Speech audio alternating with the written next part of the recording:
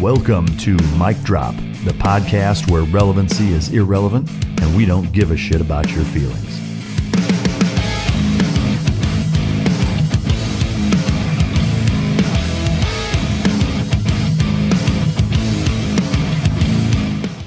Ladies and gentlemen, as always, it's both an honor and a pleasure to welcome my next guest to the podcast. He spent 12 years on active duty, uh, the majority or pretty much all of which as a Navy SEAL. Three deployments, two of which uh, were combat deployments to Afghanistan, which we'll absolutely get into. Uh, he's an active law enforcement officer in Orange County, California, and he uses donut glaze for deodorant. Ladies and gentlemen, welcome to the stage, Travis Kennedy. Thank you, Mike. Appreciate it, man. Yeah, thanks for coming on. Um, I know. Honored to be here. Yeah, shit. It's it's uh, it's an honor to have you, man. Um, I've caught bits and pieces of uh, the show that you did with Sean.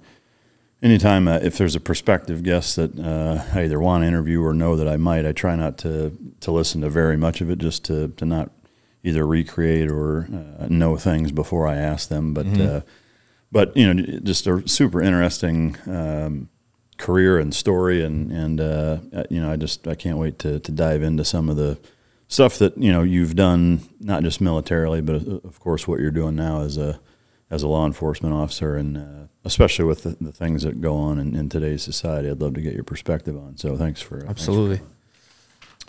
uh, when was the last time you legit ate a donut in your cop uniform I worked Saturday and I had one then. This No past shit. Saturday. so not that long ago Usually late at night, me and my partners go like if we're just craving something, we'll go like three, four o'clock in the morning. no shit like actual donuts huh Actual donut. I embraced it fully. yeah that's awesome what's the uh, what's the fastest you've driven in your cop car Probably well over hundred. I mean, do you, do you know like exactly how fast or like in, in the tens, like 140, No, no, probably like 100, 110. Really? So you, I, I can only assume you've driven faster in your personal car than you have in a cop car, right? No, I, I'd say I would probably drove faster in my police car than my shit. personal car, You're not- especially in the city streets. Yeah. Not a speed demon, huh? I guess fucking California, you almost can't speed with how many people are there, huh? Yeah, I mean, two, three o'clock in the morning, you can get away with it Yeah. because no one's on the road. Yeah. So But no like high speed chases where you're doing fucking crazy, crazy numbers. Huh? not yet. Yeah, nothing, Yeah. nothing surpassing hundred. Yeah. Huh. Um, we might have to change that today. Yeah. What's uh, what's the favorite time? Your favorite time that you've almost died? My favorite time. Uh,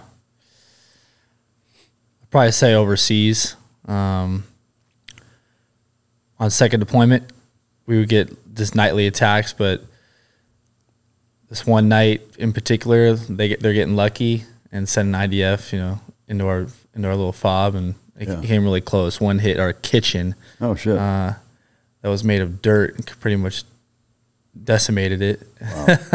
and we were pretty close. I mean, it was a guy actually got hit. He ended up being okay, but yeah, that was probably the scariest time. Did uh, was it a, any serious injuries? Or? No, ser- no, nothing too serious. He got some frag to his back, Yeah. but he was uh, back right at it though. Did they have any like uh, anti artillery units uh, that you were ever with that that ever uh, fucked those guys up, or, or did they usually get away with it? They would get away with it, but we all we have our uh, own internal like 120s uh, mortar systems in on our little Yeah. that we would utilize like daily. Oh shit. So we I've been occasionally they would we would have like a unit far away, so like the one five fives, like the howitzers yeah. Over us, but that was very rare. No shit. Yeah. So you, I mean, you, in most of the uh, experiences over there, you were hanging it out pretty, pretty Yeah. rural. I would say the second one more than the first, but yeah. Yeah. Yeah. We'll definitely get into that. Uh, pumpkin spice or chai latte? Pumpkin spice Amen. all day. how, about, how about that? So fucking pu- pumpkin spice. Let me. Uh, There you I don't know if go. zoom in on that at all. Pumpkin spice fucking uh, deodorant that I have on my desk here, which is uh, that's an inside joke. I'd like to take a quick second uh, to shout out and thank our sponsor for today's podcast, Origin Labs and Jocko Fuel. Jocko Fuel is a great product. Uh, he's got a ton of products actually within the Jocko Fuel line. Uh, the guests and I enjoy them on the show. And outside, I take a lot of the supplements. Uh, I've got some of the Origin Lab jeans, uh, boots, gis, and uh, it's just all around American industry. Uh, they do a fantastic job really re revolutionizing American industry from start to finish. It's all American made, uh, all American sourced. Everything start to finish is made right there in house. And they really do a phenomenal job creating the products and fulfilling the whole ball of wax. They've been a huge supporter of the Mike Drop podcast for a while now. And I really can't thank Jocko Fuel and Origin Labs enough for the job that they do for us. And so thank you to you guys. I'd also like to talk about uh, my brand of dog food that just came out. What are the two key components for canine success? That's effective training and proper nutrition. Fueled by Team Dog brings those two components to your family and best friend. The perfect nutritional balance that results in a higher mental acuity, energy, overall vitality, and even an improved appearance. Every product you will find in my company's store was born from the battlefield and not from the boardroom. Let my life's work help you become your dog's hero. Uh, what what is your morning routine? And, and this is, uh, I'd say, on, on most normal days uh, when when you actually go to work. So when I go to work, so I'm night shift, so I'll, I'll wake up around one 1.30 p.m. Get up, um, probably drinks a lot of water, then I immediately eat. Uh, I'm like a big. I eat the same thing every day. I eat like three eggs, two pieces of toast. I pretty much never deviate from that. I don't know why. I'm just like a stickler with breakfast. But just uh, with breakfast? Yeah, Everything just with else? breakfast. Yeah. Every other meal I could I'll wing it, but I have to eat like first thing in the morning. Yeah. Uh, I don't like I don't fast. I don't do anything like that. Um, after I eat, I'll typically drink my coffee and then I'll go kind of answer emails or whatever, do some business stuff outside of the law enforcement, and then I'll go into work around four o'clock and I'll work out yeah. for about an hour before I actually go to work. Do you find that, uh, or I, I, guess, do you structure your workouts to not be too fucking nuts in case you have to get into it on there? Because I mean, I know for me, at least on active duty, you know that was always a fucking concern of of yeah. uh, you know blowing your fucking wad in the gym and then you go to work and if you have to go hands on with somebody yeah. or you know whatever. Do you keep absolutely? That yeah. That's always in the back of my mind. I don't want to get too fatigued or too smoked. Yeah. That because I know something's going to go down, especially the city I work in. There's being I'm new, so I, I but I know it's always around the corner, like a blink of an eye. Something can happen. I don't want to be too smoked before I even start. Yeah. You just tell the guy, be like, dude, it was leg day. Can yeah. uh, in terms of your days off, do you try to stay on that same same schedule and? Uh, I don't stay on night shift my days off. Really? I don't stay up. I mean, the first night uh, back like on my Sunday or something, I'll stay up late, but that Monday morning I'll wake I'll sleep throughout the night and I'll wake up around 9, yeah. 9:30. I bounce back pretty quickly. I don't like to just every day of the week do stay up at night. That messes me up. Yeah. So you do what, three three days or three work shifts, night work shifts, and then four days of normal shit, and then you flip flop it. Yeah. So three days a week I work, about four days off. Yeah. Yep. Shit, that's not bad. Uh, I I would uh, that fucking night night day flip flop would drive me nuts though. Is is uh, your goal to get on days, or do you want to stay on nights? Yeah, goal is to actually stay where I'm at. Uh, working the days, I mean, yeah, it, it is kind of a normal schedule in the sense of sleep. But as far as police work goes, yeah. uh, I think me personally, as my personality, I'm more of a night shift copper than a day. Yeah. That only reason is because one daytime everyone's out, everyone expects more, a lot more people on this on the road, which I don't like. Yeah. I rather I hate traffic. so, and at night you're dealing with a different type of clientele. You're dealing with the crooks. yeah. You know, the day shift, you know, you handle, uh, you know, like just basic uh, regular people, you know, everyday calls. Soccer moms not yeah. coming to a complete stop. Yep. Yeah. The uh, have you seen a a fair bit of shit go down in the short amount of time? How, how long have you been uh, been doing it? Well, I just got sworn this past uh, this March of this year. Oh no shit! So I haven't even been a cop a full year yet, uh, not on my own at least. And yes, I have. I've seen a lot. I live. I work in a city. It's it's inner city. Yeah. Um, So a lot of there's always something going down in, in my city. Yeah. Um, in the short amount of time I've been there, I've seen a lot. So I'm I'm grateful for it because it, it gives me experience to be that much you know better um, and handle things that other cops may not even see or may only see once in like a three or four year span, and I see like once a week. Yeah. Wow. Well, yeah, we'll definitely get into that shit. Mm-hmm. Um, all right. So just kind of, I guess, backtracking or starting from scratch uh, in terms of where you grew up. Uh, where where are you from originally? Originally, I grew up in Huntington Beach, California. So Pretty much my whole childhood, I grew up there. Yeah. Uh, And uh, how old are you? I'm 33. Uh, I can only imagine a whole a whole lot has changed from when you grew up to how it is now. Yeah, it's definitely uh, grown, and I still like it, but it's definitely got more uh, crowded and convoluted with uh, just more people, and Yeah. and the sentiment in California too is kind of Different. different. Yeah. Yeah. Uh, to me, it's uh, you know I I'm not from California, uh, but we went there a couple times growing up, and it, it I know you remember shit as a kid a little different, but you being from there, uh, it, it seems to me like even in the 12 years that I have not lived there anymore, it seems like it's gone downhill. Like in terms of the upkeep, like it seems like much more of a shithole in a lot of places. Yeah. I would say certain places definitely like Los Angeles and even San Diego. Um, it's Yeah. going downhill. Really, I mean, like even downtown and shit, or downtown, yeah, downtown. Homeless is out of control. LA is a whole. I don't even. LA is like a, just a whole nother world in Southern California. I mean, I haven't even been to LA in few years. Oh, wow. Because I, I, I do not want to even step foot in that city. Yeah. Um, personally, where I live now is Southern California. It's a little more you know conservative. Um, it's it's a nicer area. I would I would say, um, and they keep it decent. In the so, but the rest of it, I don't know. It's, yeah, it's just the large those large cities that, that I feel like just kind of yeah. Do you go back to, to where you grew up much? Yeah. I try to. I mean, I'll go and hang out there, but that's about it. Like we'll go out to eat or something like that. It's not far from where I live Oh, I got you. now. Your parents uh, still there? Uh, no, my parents they still live in Southern California, but they live in like the out, outer uh, beach towns, like a different beach town now. Uh, and what was that like growing up? Uh, growing up there, and and uh, you know siblings, or just your, your childhood as it relates to relationship with parents, uh, other kids, school, etc. I would say I had a really I had a good, good childhood. Um, I spent time between my mom and dad. They were divorced, but that being said, it was it was good to go. I mean, we shared time. Um, my father, I pretty much spent the majority of time with my dad. I would say growing up as a as a child throughout middle school, high school, but it was good. Played sports.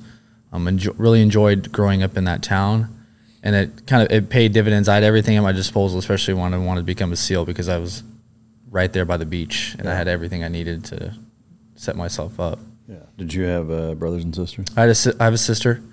She's thirty. Oh, okay. younger. What uh, What does she do?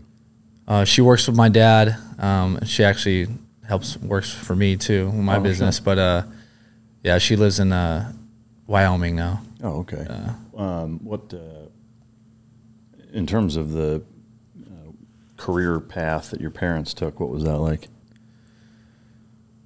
their career paths. Yeah. Uh, it was good. My dad's a professional wedding photographer. He owns his own business. Oh, really? So he started out. He's done that his whole life. I mean, he he started out taking pictures of like kids on ponies, and then developed from there. Now he owns a large wedding photographer comp- business in Orange County, where he lives now.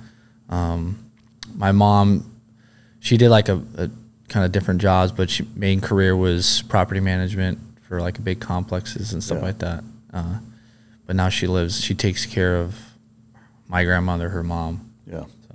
Uh, relationship with your parents uh, still still good. Still solid. Yeah, still solid. See him all the time. Do uh, do your mom and dad get along? Yeah, they do. They've always, g- believe it or not, they've actually gotten along as far as I can remember. So, which is not many people can say that, but Yeah. My dad's like just really laid back and cordial. So he doesn't, Yeah. yeah, he never, Doesn't ruffle any feathers. No. Yeah. Uh, it seems like the apple doesn't fall far from the tree that way. Huh?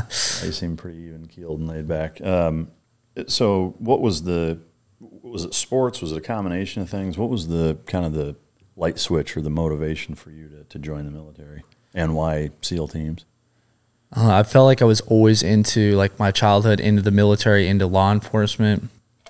Dress up as as a child, and I always had that kind of innate attraction to it.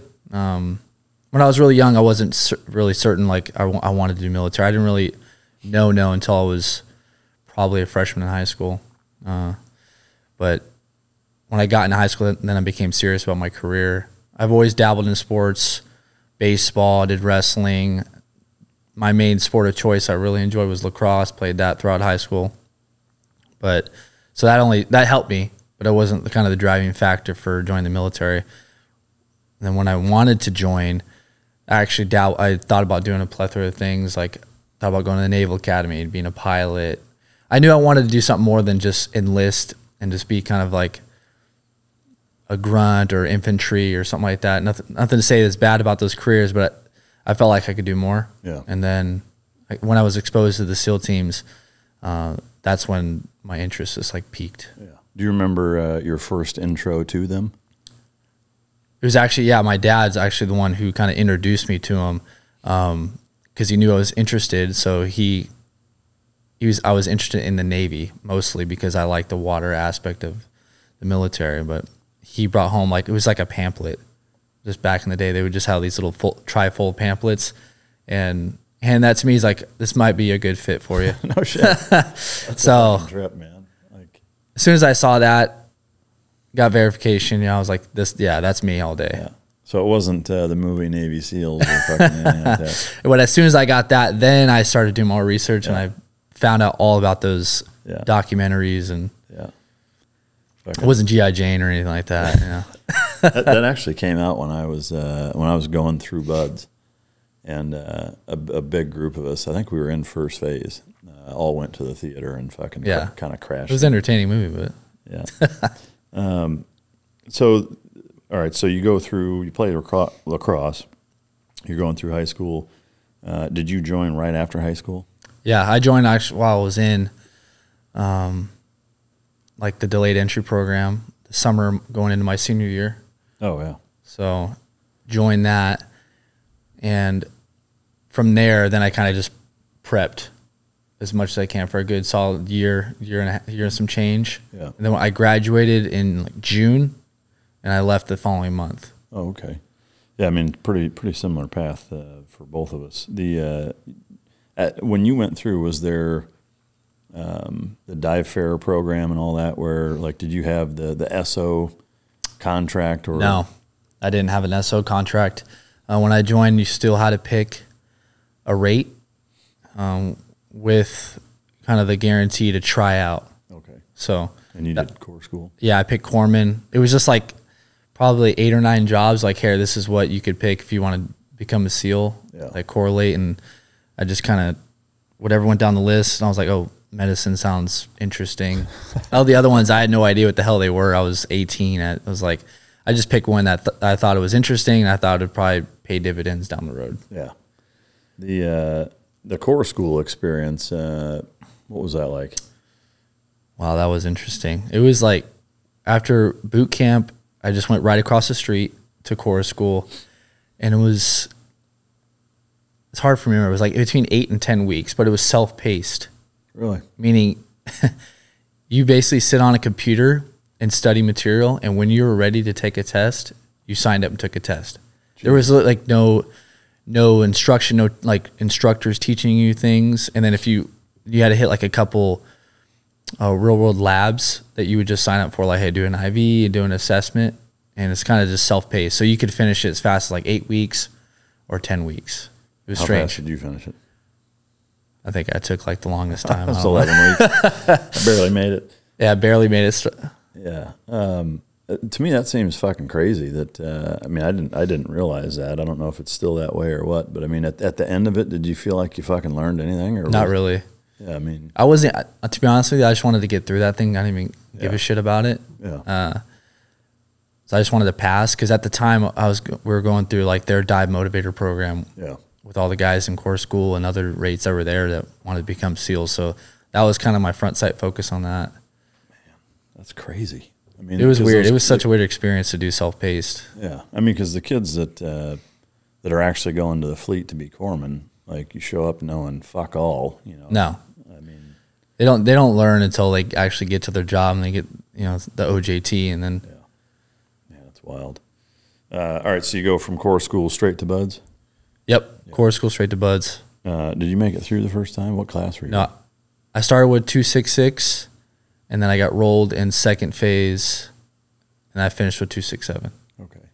I, I don't remember the last class that uh, that I was there for, but it was it was around then. I don't I don't remember seeing you. Probably don't remember seeing me. The last few months I was there, I like most guys was you know doing the fucking Dude, bear, checking bear out, yeah. but uh, yeah, I mean, just focused on getting out and you know doing terminal leave and all that. But um, you started with two six six, two six seven. What uh, what happened? So I got rolled in second phase for the four mile time run. Really? Yeah. that was my biggest, I don't know, lesson learned for Yeah. sure. When I was that young, I was, I don't know why. I looking back, I wish I would have ran more in So my training. like you had shin splints and fucking stress fractures. You just know, like po- I don't know, I just I felt post hell week going into second phase.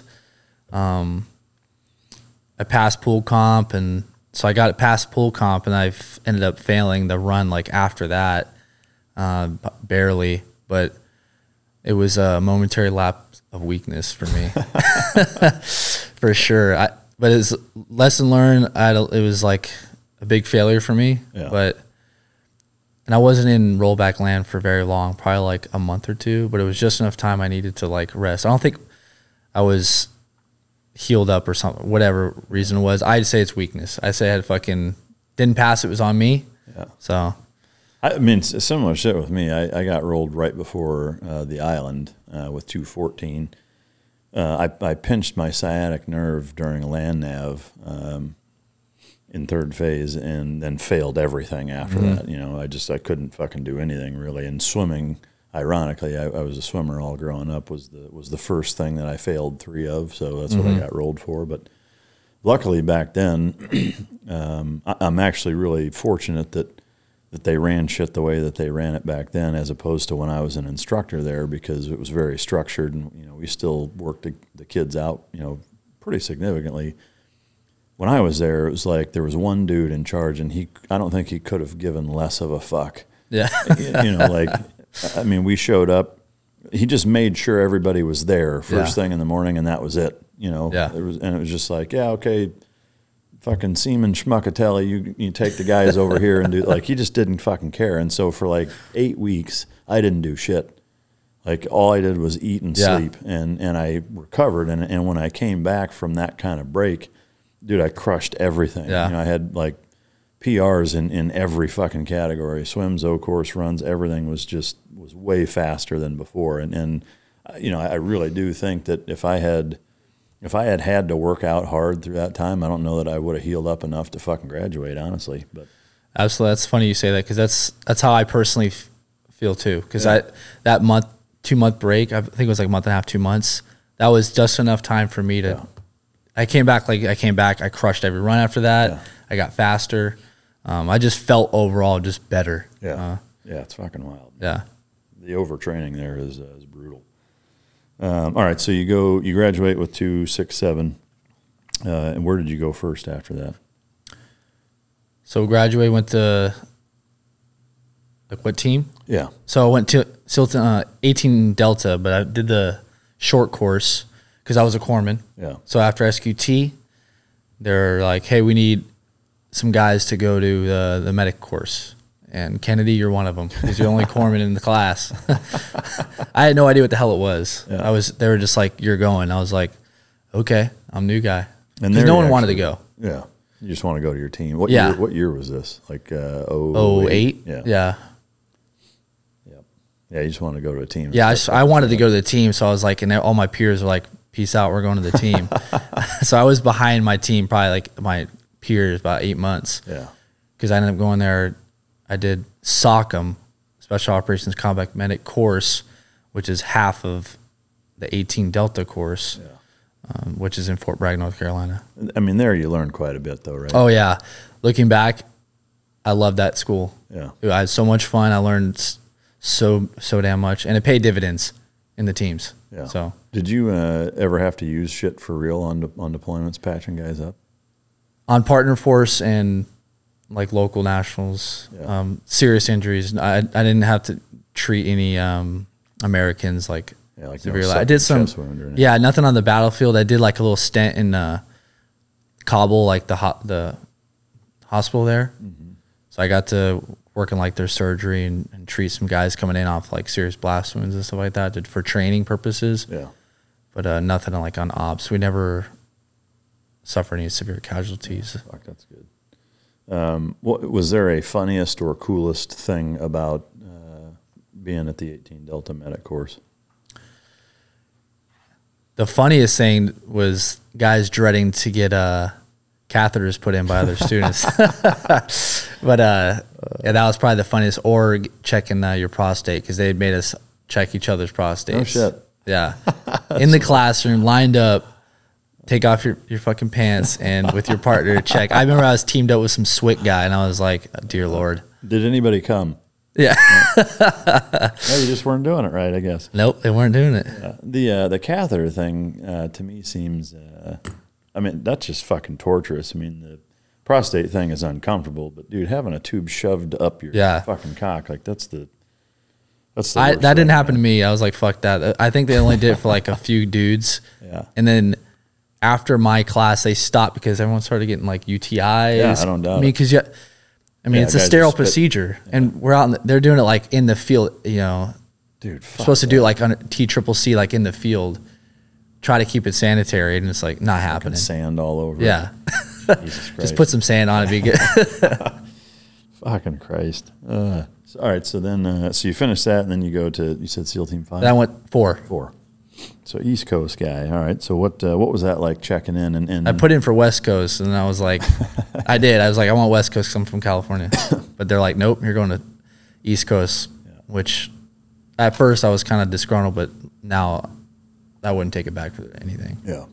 When you showed up, were there guys that you graduated with that are, had already fucking done anything or like? Yeah, there was a, a few guys that showed up to um, some of the teams that met met their team on deployment. Oh, wow. Because I I showed up to Team Four when their the team was already at on deployment. Yeah. Some guys are in Iraq, um, and I showed up kind of towards the tail end. So dudes were just showing up, getting off deployment.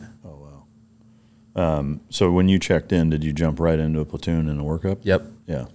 Jump right in, kind of do the new guy thing when I first got there, just like cleaning up the command and repainting and Yeah. shit like that. Sweeping the beach. Yep, fucking, and then they, right, pretty much right away they, they started sending us to schools. Yeah. What? Uh, which ones did you get? My first deployment, I did nothing but driving schools No as a new guy. Really? What, All driving. We did like BDAR, Team O'Neil, um, Bondurant.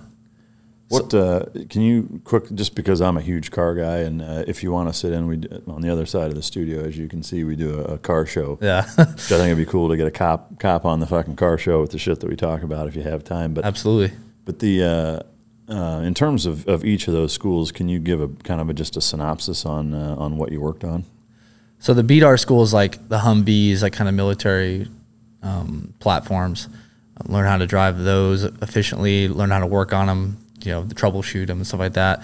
Team O'Neil, which I thought was the funnest driving school I went to, was a rally racing school. Pretty much is in New Hampshire, and we drove like 95 Audis, we drove Subarus, um, Beamers, like old 90 Beamers.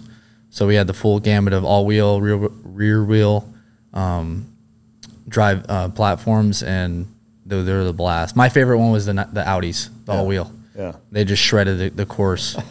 was it like track stuff or? uh, yeah, it was all slalom, like dirt track. Wow. You're doing everything like full race rally track. Yeah.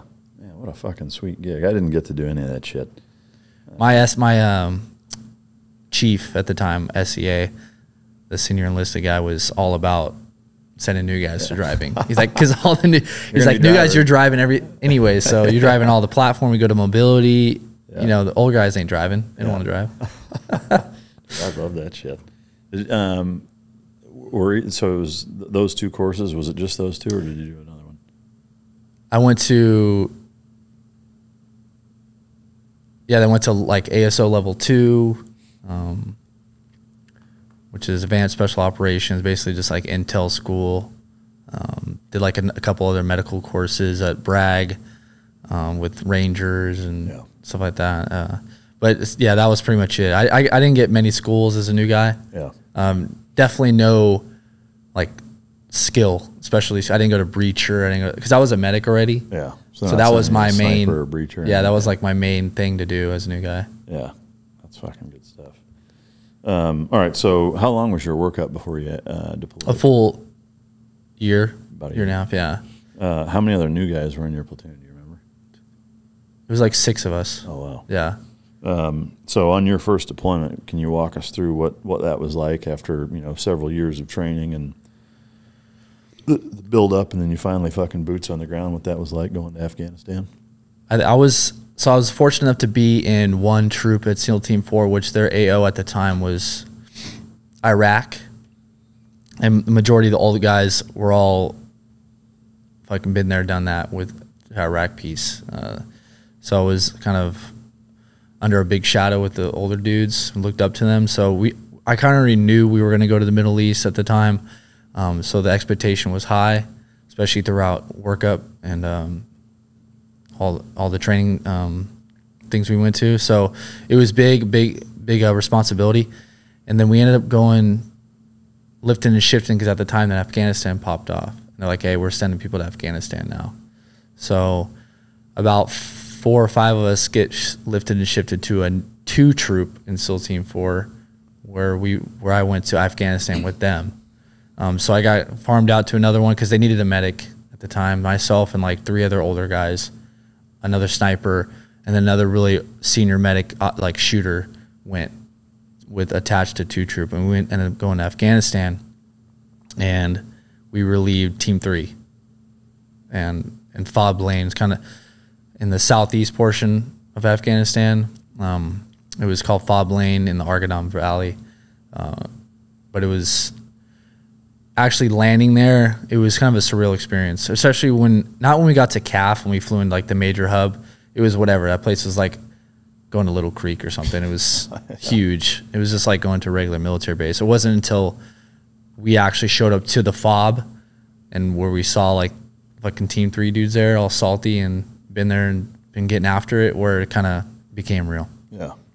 What uh, in terms of the time of year and weather? What was it like where you were at? We got there like September of 010. Yeah. So end of the summer and then we're there throughout the winter. And then we kind of you know, spring time frame we got we left. Yeah. So Was it uh, high elevation, shitty cold weather, or not not an active fighting season in the in the winter? yeah, I kind of ebbed and when we first got there it was good. Yeah. um, kind of a lot of fighting, and then during October, November, December time frame, yeah, just it died down big time. It was, Was- it was snowing a lot. It was cold, yeah, yeah. It, we didn't get like we weren't too high. Um, we weren't like above ten thousand or anything like that, but at least our fob we went above ten thousand a couple times. But yeah, it snowed definitely. It was cold. Yeah. Yeah. What uh, so that first first couple of weeks, and I guess specifically your first legit real world mission where it was like shots fired and, and it felt like fuck, dude, this is the real deal. What uh, can you walk us through that experience? I think the first mission we were doing a turnover route when I first got there. The very first turnover mission we did, we ended up losing guys on a helo crash. Oh no shit. It was an accident. They didn't get shot down or anything, but um, kind of you know the, that uh, old adage like the worst times on deployment is like in the turnover op or right when you get there type of thing. You know, so unfortunately, yeah, helo crash first stop we went on. Um, we lost guys to include the air crew the, the, of the bird. So that was a big eye opener. Immediately losing teammates, it got real imme- imme- immediately. Um, Who, uh, who was it? uh, we lost team three guy, Brendan Looney, Is that Adam Smith? Adam Smith, Dennis Miranda, Blake McClendon. He was one of our sport guys. This guy, um, we didn't lose him, but his name's Andrew. I'm not gonna say his last name, but Andrew. Uh, he was in the the the helo, which he's a freaking animal, and he survived.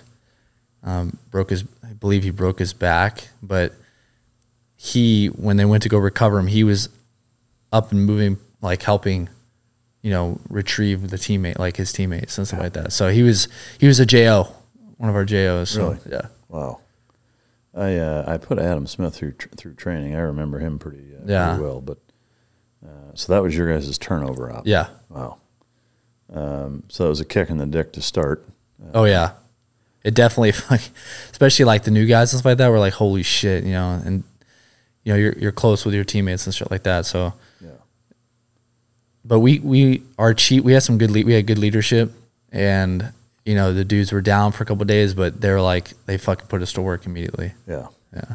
So you guys fucking boots on the ground, just start start running basically right out of the gate. Yeah. That following week, we were just right back at it again. Like, What- hey, we got we got ops to do. Yeah. And what were they all pretty similar, or was there a wide variety? Or all pretty similar. Um, kind of we try to expand our green zone outside our fob, just building relationship with local villages around, and then the majority of the operations we did were flyaway kind of type, um, kind of DA type missions where we go into cover of darkness. We put in some supporting elements on the high ground, and then put in the main element on the on the ground, and then we would do we would we would have some target packages, but we would mainly do like village clearances. And we would just go in and kind of sweep the whole village looking for looking for turds. So and was that uh, were there times where it was heavy resistance, times with none? Like did, did that? yeah, I would say about 50-50. There was heavy on the first deployment. Majority of the time, they, these dudes would just pop off at us like from a distance. Yeah. Um, they would see us coming and- start to take take shots. They would, I would say, they would attack the supporting elements on the high ground more than the main elements. Really?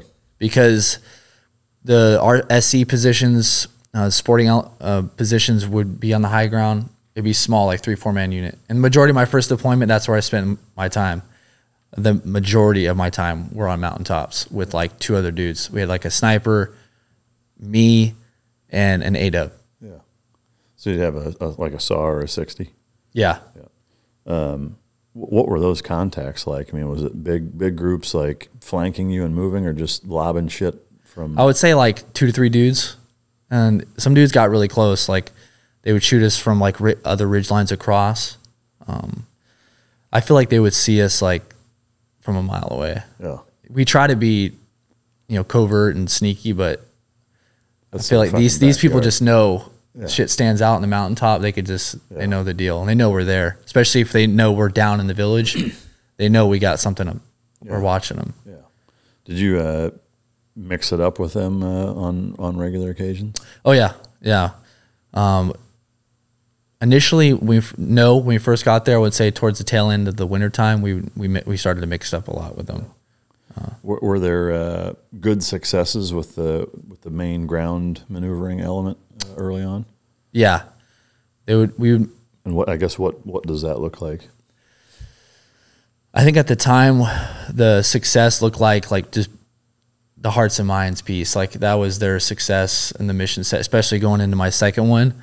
Um, just expanding that green, our green zone, our reach, our influence, and you know, I would say that was the overarching type goal, but kind of like on the ground level, we had an impact on, you know, getting rid of the, the Taliban that were there, the TB. So, uh, by the time we left, um, we we impacted the villages for sure. They wouldn't come in and fuck around with the, the locals or even try to fuck around with us. Yeah.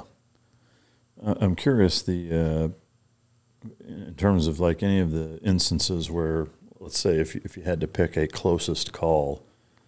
Um, I know you said that most of the time you were up in uh, up in the supporting element, elevated positions. I guess either way, during that deployment, was there is there an operation that stands out for you personally that was like a closest call, and what what happened? Yeah. So I was up. I was in SE position. Um, we weren't on a high piece, very too high, I would say. But looking down into the village where the guys were coming in, um, it was me and two, two other dudes, uh, and we were just kind of. It was towards the the sun was going down. These dudes like to hit us like right when the sun is cresting. Uh, for whatever reason, I don't know why, but maybe they thought that we were fucking most vulnerable then. We just call it tick 30 or whatever. Like every, literally every night they would do the same shit. Uh, but we were on an op and someone's about to go down. So we were kind of just whatever. We've been there all day. We're freaking smoked. And boom, just like that. They, I mean, they hit us with PKM um, to the point where we couldn't even move. I mean, it was like over our heads. We had to hunker down. We couldn't even fire back to them and it took us forever to even find out where the hell it was coming from. Wow. Um, was it one one no, PKM or multiple? No, it was a couple dudes. Um, they were on the ridge, just kind of north of us, like across the way, across the valley, but close. The ridge was close enough to where the rounds were were effective. Yeah. Because um, I was down below, and we had our sniper kind of up on the top of a rock, so they had a higher position with two dudes. So we had him and this other guy our A Dub and me, the medic, I was just kind of below, just kind of spotting, looking for dudes, and all of a sudden, like boom, they got stuck. I was kind of free. They were they saw them, not me. Um, so they started fucking aiming their fire to them. My teammates couldn't move whatsoever. Like they couldn't even get out of this little. They're in like this little rivet where they hunkered down the best they could.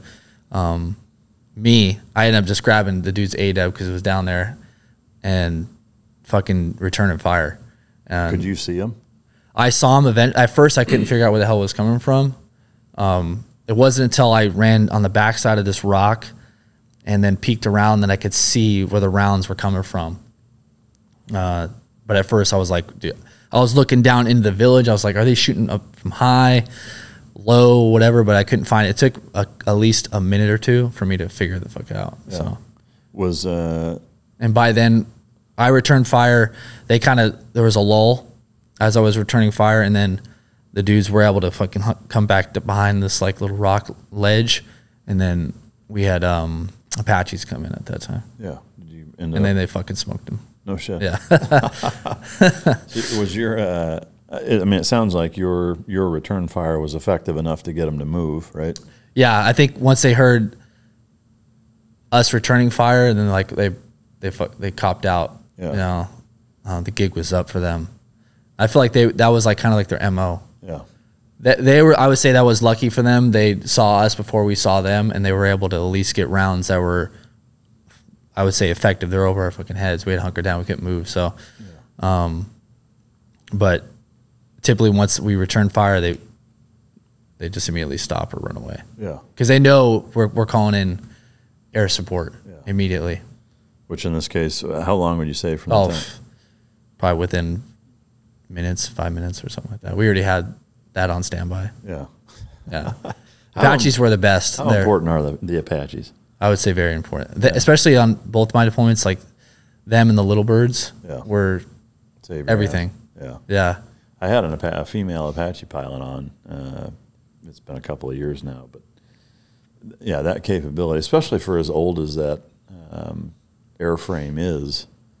I mean, not that it's super old, but it's dozens of years mm-hmm. old. You know, it, it's not brand new technology. I mean, to me, it, similarly to the A10, like that thing is still yeah super fucking effective. And uh, you know, I, I, wonder, and I'm curious to get your take, if you were to remove uh, air support entirely, you know, and, and you had to battle these guys just basically mano a mano with the gear that you have, which granted night vision uh, is a pretty big fucking advantage. But but even saying giving you that, um, do you think it would be almost even or or even if uh, if you were to remove? I that? think it would take advantage away from us big time, and then their mindset would probably be different. I feel like they'd be more emboldened yeah. to do shit, at least come closer, mono, you know, toe to toe with us for sure. Um, that being said, I don't think their ability or skill sets there as, yeah. as, as, it pertains to like our SF abilities. Mm-hmm. Um, you know, but I know they get lucky, so I mean, but I feel like they would be more emboldened Yeah. because every time air air sport would come out, they would just dip out, ditch the weapon or whatever, and just kind of go on their mosey way because they're dressed like every other local there, you Yeah. know. So, But in this case, the Apaches managed to. Oh yeah, them. Apaches all the time would just destroy. They would get kills left and right. I Yeah. mean, it was ridiculous. How many, uh, how many Apaches did you guys have kind of attached to, to you? Or, or how did it work that way? Basically, they weren't attached to our unit. We would just utilize them in, in our AO. But I mean, pretty much every op we went on, we would have at least that or the little birds. Yeah. Always. Do you know uh, from where your forward operating base was uh, and where they were stationed, how, how far apart that was?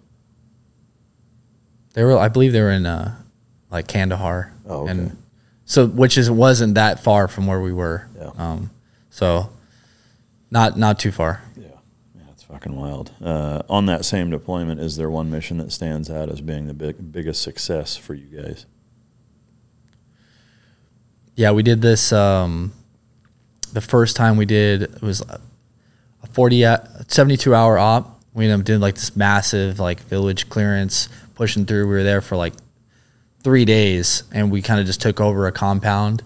Um, but it was successful in a sense where this this area was just being ransacked of like TB and just problem after problem. Um, and we teamed up with some some uh, SF dudes. And we linked up with them there, so um, it was a in a sense of that as far as clearing this village was huge. Um, and uh, an operation standpoint for our unit, it was big because it was the first time we ever did anything like that. As far as doing multiple uh, nights in the, in the village, where we kind of fortified, we took over this this this guy's compound. It was huge. We ended up taking it over. We built like sandbagged it out, you know, just fucking hunkered down and just owned it. And it was good in that sense and a lot of lessons learned. But um, I feel like on the first one, that was probably our most successful one. And it was our funniest one because we ended up burning this, like, the guy's lifetime of firewood in like two days. Finding firewood in Afghanistan is like one of the hardest things to do. There's no, tr- Yeah. there's not really many trees and Yeah. So what? I mean, what do they do to fucking keep warm then? They I just don't know. They, I mean, that's they, they have wood, but it costs a lot of money. yeah. So that shit's uh, premium. then. Oh yeah, it's premium. Everyone was getting sick and shit like that because we're on top of each other. It was pretty funny though. It was a pretty fun experience. Was there any uh, any pranks? Any good pranks in the entire deployment Any good pranks? or hazings? Fuck it. Oh yeah, ha- yeah. Okay, I got a hazing one. Uh, we're on our base. We're with other like an army unit, and one night, you know, we're fucking wanted to, to mess with them. Uh, not our own guys, but the army guys. So We would like lob smoke grenades in their fucking into their bee huts and stuff like that. And they would they shot like pencil flares over at our fucking at us, and sh- it was pretty funny. And I believe that night, dudes were. uh It was kind of like a chill night where have like you know maybe a glass of Of whiskey or something like that. I don't know. I can't really recall. I, I don't condone it, but we had we had some fun that night. That was funny. It definitely backlashed, but it was funny. So Yeah. That's good shit. Um, all right. So that deployment, uh, you said it, it picked back up towards the end. yeah, picked back up towards the end after the. I would say in the the winter time, it was like a couple times a month. Maybe they would try to get after us, Yeah. We- and then we went on ops. We still try to remain active. We didn't go out as much because in the wintertime, half the time the freaking the assets are down because of weather. Yeah. So that and we always did flyaways too. So especially in the first one, we never really patrolled anywhere. We did a little bit, but not very far. Yeah. Um, so we went out like a handful of times during those months. Did you guys ever have any incidences with IEDs?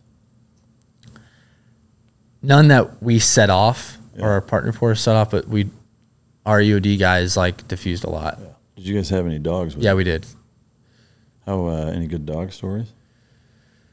Uh, were they uh, West Coast, East Coast handlers? We had a West Coast handler when at the time I believe they like shifted over to like subpact or something like that for a temporary So amount of this is what, like 2010? 2010, yeah. Oh shit! What was the first name of 2010. the handler? Can you say?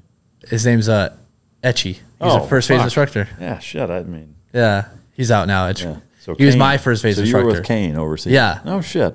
So he joined us um, not right away, but he was there probably like he came in like two months into it, Yeah. and then he was with us the remainder of the time.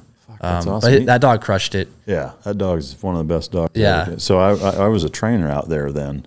Oh, okay. so uh, Kane, so the myself and Wayne Dodge were, were on that contract for uh, for the West Coast Canine program. So Kane was a dog that we put through his first uh, first workup to deploy, obviously with you guys. So that's fucking wild, man. God damn, what a small. And it was funny to see Etchy too because he put me through first phase. So Yeah. we're like, holy shit. Yeah, he is one of the funniest guys. Oh, yeah. ever. Like the the shit. I mean, I don't know if you remember. I I mean, he, he fucked with most students, but Oh yeah. the, the shit that he would do, like with the incoming guys in their dress whites, like I couldn't even be around for it because I couldn't keep a straight fucking face. Like I just totally would blow it, and, and they would they would know he's fucking with them. But like the, just the shit that he would say to him and do to him, and god damn, Yeah, it was I- funny. he was I remember him as an instructor. He was a fucking hoot and like a jokester, like in a sense where he would just say things to students and like make it entertaining. Yeah. Well, I, I think the what always impressed me the most about, from a sense of humor standpoint, his ability to be sarcastic and say something that's clearly not serious, Yeah. but be totally serious while he's saying it, and just like some of the most ridiculous shit would come out of his mouth, like off the cuff. God damn, he's funny. He's uh, he's in your area as a firefighter. Yeah, he is. He's in uh yeah. Up in LA area. Yeah. You guys ever do any cop versus firefighter boxing matches? Yeah. it's always us for a cent. They're the they're our, you know, nation's heroes, man. They don't Yeah. like cops, they like Yeah, firemen. Well, yeah. there, was, there was one here that just booted a fucking homeless dude that was all over the news. I think I saw a week or two ago. Like there's video Like of him. his like- ass. I, yeah, I didn't even watch the video. I, I, I mean, to me, I don't need to see that. I can, you know, see the headline and know that it, that's a shitty deal. Not but, good. but uh, yeah, I mean, it, it is a such a contrast firefighter to to cop. Uh, Yeah. around here. I mean, fuck everywhere. But He's he's doing actually good things because one of my police academy instructors knows him, and he told me like he's he's crushing it. He, yeah, he loves that's it. awesome. But uh, all right, so Kane was there. Um, I, I guess the from the standpoint of your guys' efficacy and your reliance on the dogs and the relationship of of the platoon and the handler and the canine, can you uh, kind of describe that? The relationship was good because I mean Etchy and, and Kane like to really have the dog interact with us. Um, he never he didn't really separate it from us too often. Like he would let it hang out with us when we are just back at the fob, work with the dog. I did a lot. I did training with the dog. Um, I personally did quite a few times. I would just dress up like Mooj and Yeah. do some training while I was muzzled. Um, I like to do that. Uh, so I got some good experience with working with Kane that way. And then, yeah, he was always in the front too with our EOD guys and our point man and stuff like that too. Yeah. So he was always integrated, and that we the dog was integrated throughout my entire workup too. So Oh, we're all the whole platoon was pretty much familiar with handling dogs and how to. They did a good job on letting us work with them in a sense as hey we're doing clearance how to direct the dog like i personally throughout training i remember doing it multiple times through like souk and doing clearances and stuff like that like they would let the dog loose and you would direct it because the handler would be way back there Yeah. dog run through the house you'd help direct find the dude Yeah. um, which i always found interesting too Yeah, I mean, you know, that environment takes a, a very special and specific dog. No, no two ways about it. Uh, and Kane was absolutely one of them. I mean, if, if I, you know, thinking of my time of the, there was, you know, uh, about 15 dogs overall that, that I interacted with, trained, worked with while, while I was there. And, and, uh, you know, he, he's absolutely in, in the top three of, of my favorite there. Um, if I had to pick one like all around dog, it would probably be him, honestly. You know, like to, Yeah. to clone and to make as, as many as you could. I mean, in terms of him being well rounded and social and all that, I, I believe he's still alive, actually.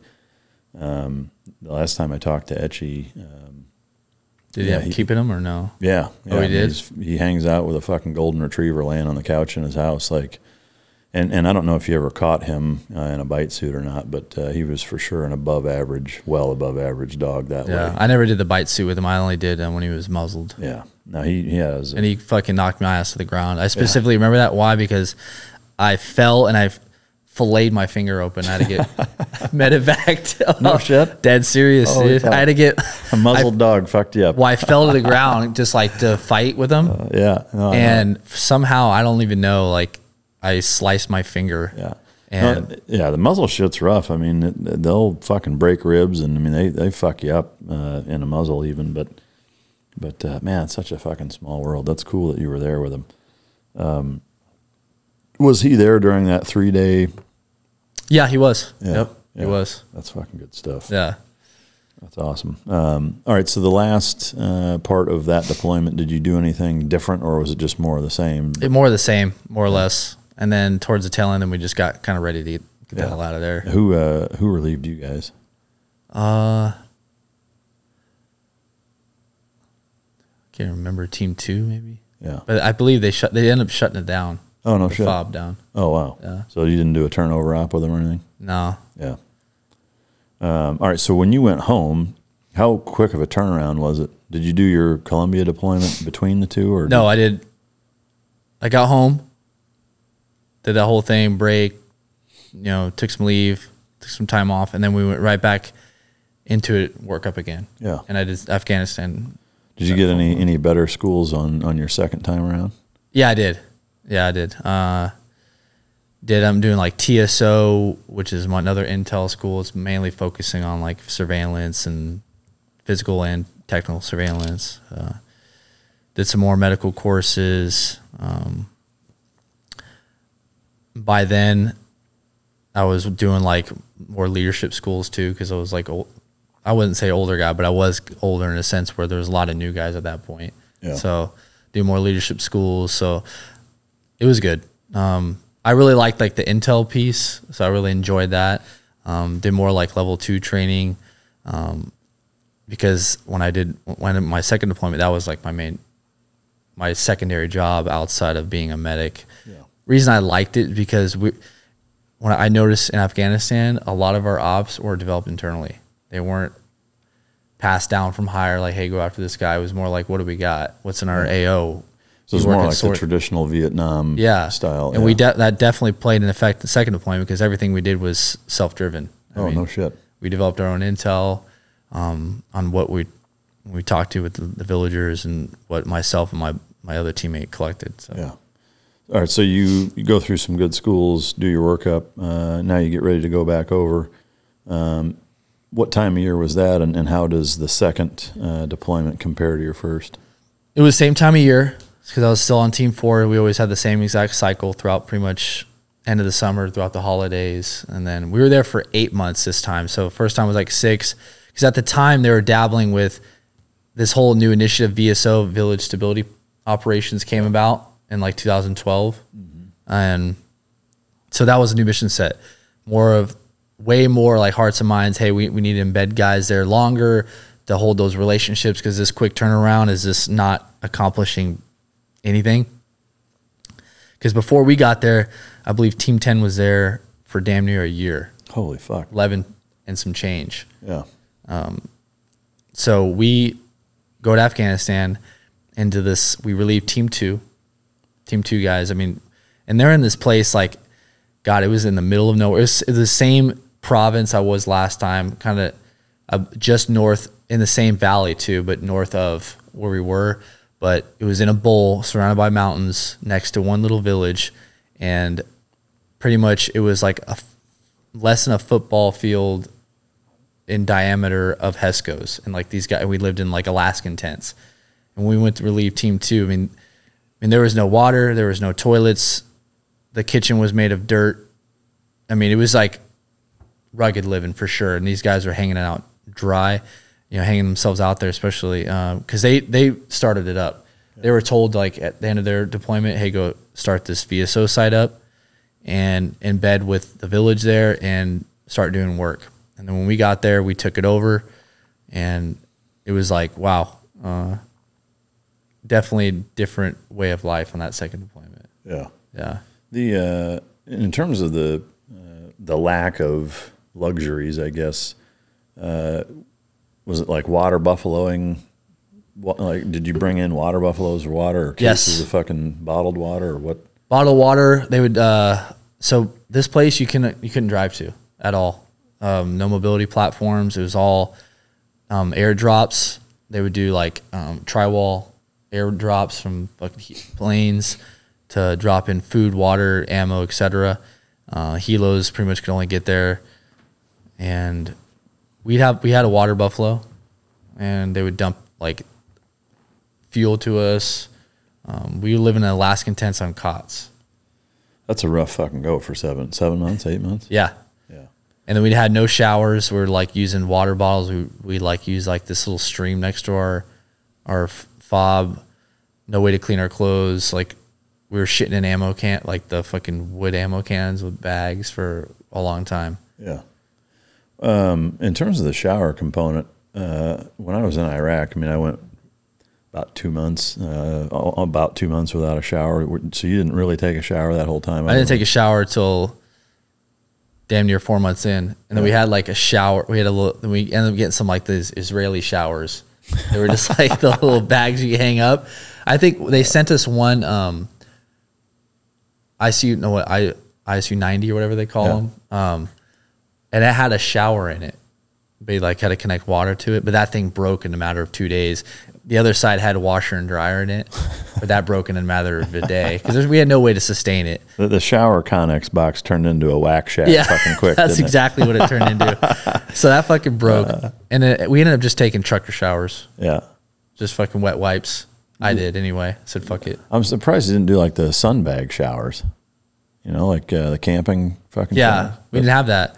I, I think one of it did, but like once we got the little Israeli bag showers, it's like it's like a camp shower. Yeah. You just fill it up and you just dump it on your head. The, the Uh. surefire way to, to sell anything, make it sound more tactical or sexy, is just throw is, Israeli in front of it. Israeli bandage. This is fucking Israeli- Israeli pen. so you can stab people with it. Starts fires. It's got a laser in it. It's a knife sharpener. fucking Israeli everything. Uh, I love it, and it uh, it pisses everybody off over there too, right? Oh, Why yeah. there Israeli showers. and our can't use them. Seabee ended up built, building like some shitters for us because we were like, everyone got fucking horrifically sick because like just the way it was set up and like our shitters were fucking horrific, and so our one of our Seabees ended up building us like some shitters or like basically like big porta potties, which helped out, but which we could actually sit on a toilet seat, like kind of like a fucking regular toilet. Yeah. So you guys got like sick, uh, like stomach. Yeah, just bad stomach. Everyone was down hard. Yeah. It was just like I don't even know what it was, but Yeah. I mean the the unsanitary conditions. I mean over time. I mean fucking who who knows? I mean Yeah, we were eating MREs. We had no means of cooking because we had. We ended up getting like propane tanks eventually, and we had like a little makeshift stove, um, but we weren't cooking like good food. We ended up using like building like a fire and just cooking over the fucking fire, yeah, but um, just warming MREs up. Just warming. They would airdrop us some food like. Eventually, that we did, we had we ended up eventually set up like an Alaskan tent with like drinks and like food and we had like a couple they ended up dumping us some like a meat freezer we could stick some food in but it, it wasn't like they weren't throwing us like steaks and shit so, what, I mean, what was what was the food? Just like shit? frozen food like frozen shit food Yeah. yeah it was it was it wasn't it wasn't good shit. we had like an army little army detachment with us too and Oh, we had a cook one of one of the guys was a cook Man, that poor bastard. that fucker was garbage we used to make fun of him so bad we like he looked like Private Pyle. We thought he was going to kill somebody because our buddies. Our, you could imagine like for three four months in, like these fucking pissed off, disgruntled team guys. Yeah. Like Surprised it wasn't taped up, taped to the shitter. Fucking. Oh, yeah. time. God damn. one time he tried to cook our fucking food. And he started the fire with diesel fuel, and then Oh, you can imagine how that turned out. Our food tasted like diesel fuel. That pissed people off. Oh, fuck. Was there anything that he made that was worth a shit? Is there one thing that he was like, yeah, this isn't too bad? No, he didn't make one thing that was worth a shit. He was supposed to make us food like breakfast. He made us breakfast one time. He literally just microwaved like he warmed up fucking French toast sticks and like set them out in the fucking like a big fuck you. Like hey, Oh, Christ. He's got like the, you got one job or like, yeah, just, I mean, his name is like Timmy or something like that. Yeah, he had one fucking job and he's and he's it's like the guy that paints around the rock on the fucking, uh, on the street, street lines or whatever. yeah he, he ended up being just like worthless. Yeah. Fucking Christ, man. That's tough. Did uh so you- I mean for that you were there eight months for that whole stint, right? Yeah. Of that eight months, did you eat MREs pretty much the whole time? I would say like three, four, like halfway, Yeah. and then we got like that frozen foods. We ate that. We brought I brought food, like brought like a bunch of snacks. Ate a lot of local food. Oh no shit. Yeah. What uh, is there an, a most interesting local food that you ate that you actually like liked? Yeah, this rice, and they would put like these big chunks of potato in it. It's like just a bunch of carbs, but it's fucking good. Yeah. And then we get a lot of their, their foot bread. We call it foot bread, but like they're fucking naan because they make it with their feet. Yeah. I mean, we, I think it was a joke. I personally have never seen them make it with their feet, but they would just say, "Yeah, we'll get some foot bread" because they pound it flat with their feet. But we would eat that a lot. Or eat because we had on our fob. Well, next to us we had ANA, ANSF, whatever ANASF dudes attached to us. So there was like fifteen of them, twenty of them. They lived in like this little hooch, this little wooden mud hut outside of our little fob. Inside of our fob, we had um, some locals too that lived with us actually. Really? They were called CMRG. um, don't ask me what that stands for because I can't remember. But it basically were their EOD Yeah. dudes. Um, they would carry in their back like the Thors, uh, um, the Jammers, and they would they were freaking good. They were shit hot. Yeah. I we loved working with them. I personally worked with them all the time because I was like their handler because I was an Intel dude. I'd pay them and make sure you know, they're squared away with gear, their family's good to go. Um, just make sure they were good. And I would always eat with them a lot because they'd get food from in the village and bring it in. What? Uh, two questions, I guess. What? What were you paying them? Like how much? Do you remember? Yeah, I think it was like 500 bucks a week. They're making some good money. Like each? Yeah. And you're giving them cash? I'm assuming. Cash, yeah. Yeah. American Afghani cash. money. Oh, Afghani money. Yeah. But it, like um, equivalency of Amer- American Yeah. dollars. I mean, how how are you getting that? Uh, that part of the airdrop? Is they give you cash to pay these? Yeah. guys? Well, I would fly into our little AOB where we our head show was staged, where our manager who manages this stuff, like the money and the intel and stuff, would give me me and my other guy, um, who has passed, but me and him worked side by side. Um, they would give us money, issue us a, like a big bundle of money, and be like, you know, here's basically keep a log and pay them Yeah. on their their schedule. And how much were you skimming? At least two, you know, two three percent at the top. the uh, you said the guy you were working with passed was an American guy. yeah, he was a SEAL. His name Blake Marston. He passed some Oh. training, Oh, okay. Skydiving. Yeah. Fuck, man, that's too bad. He he, yeah, he when he was in, uh, he just got to silver, Oh, okay. And it was a training accident. Yeah, that's too bad. Fuck. Um, that's that's an interesting component, I think, of uh, that a lot of times you don't realize or hear about. Uh, you know, but getting the, the support of the locals, I mean, that, that in and of itself can be dicey, and that even something as simple as food, like how do you know it's not fucking poison? Like, how, you know, how, how much of a trust based relationship do you have to, to grow into before you're willing to eat food that these people are Yeah. getting and, whatever, you know? It took a while to, I would say, to develop those relationships. Um, as soon as they realized we were going to be there for quite some time, they kind of warmed up to us. yeah. Um, and then we had the our inside with those CMRG guys that kind of befriended them, and they were Yeah. like our conduit Yeah. and really helped us out. we had a problem with our first ANSF crew where we had to kick them out and get a new crew because there was like we did we ended up calling in some like CI dudes to interview them, counter intel dudes, because there was some like insider threat. Like these dudes were like hated, they didn't like us, they wanted to fucking hurt us because that, they were accusing us of one op for like knocking down. They they legit accused us like we thought knocked down a Quran on the ground and you know fucking dishonored it and this whole thing like and then they we fl- we got some like insight like hey these dudes are they don't fucking like you and then we end up not trusting them hey you can't come on base you can't come on base definitely can't come on base armed Yeah. so leave your shit over there Yeah. Um, like, what's the point? so then? basically the relationship became bad yeah. we got a new crew but Wow. Um, with the crew that the EOD crew that you trusted, they were they from that area? no they're like northern Ira- afghanistan Okay, Um, so they were basically liaisoning with the locals, but they're Yeah. from there, so they can speak the language and culture. they're afghanis Yeah. um, but they're from the north, and they hate basically like the northern Afghanis hate the Pashtuns and hate definitely hate Taliban. Yeah. So they fucking they were the true to me the most patriotic Afghanis I've ever worked. Yeah. I mean, they loved their country. They they were there for the right reasons. Yeah. Um, they were motivated. They weren't motivated by money. Um, you know, of course, they wanted to get paid because they had family support and support themselves. But Yeah. they're they're they're motivated. Yeah. That's And they were shit hot too. We trust them more than our ANSF guys. I did personally. yeah. Did you ever eat any uh, meat from the locals? Yeah, What uh, goat or what? yeah. goat. Is it worth the fuck?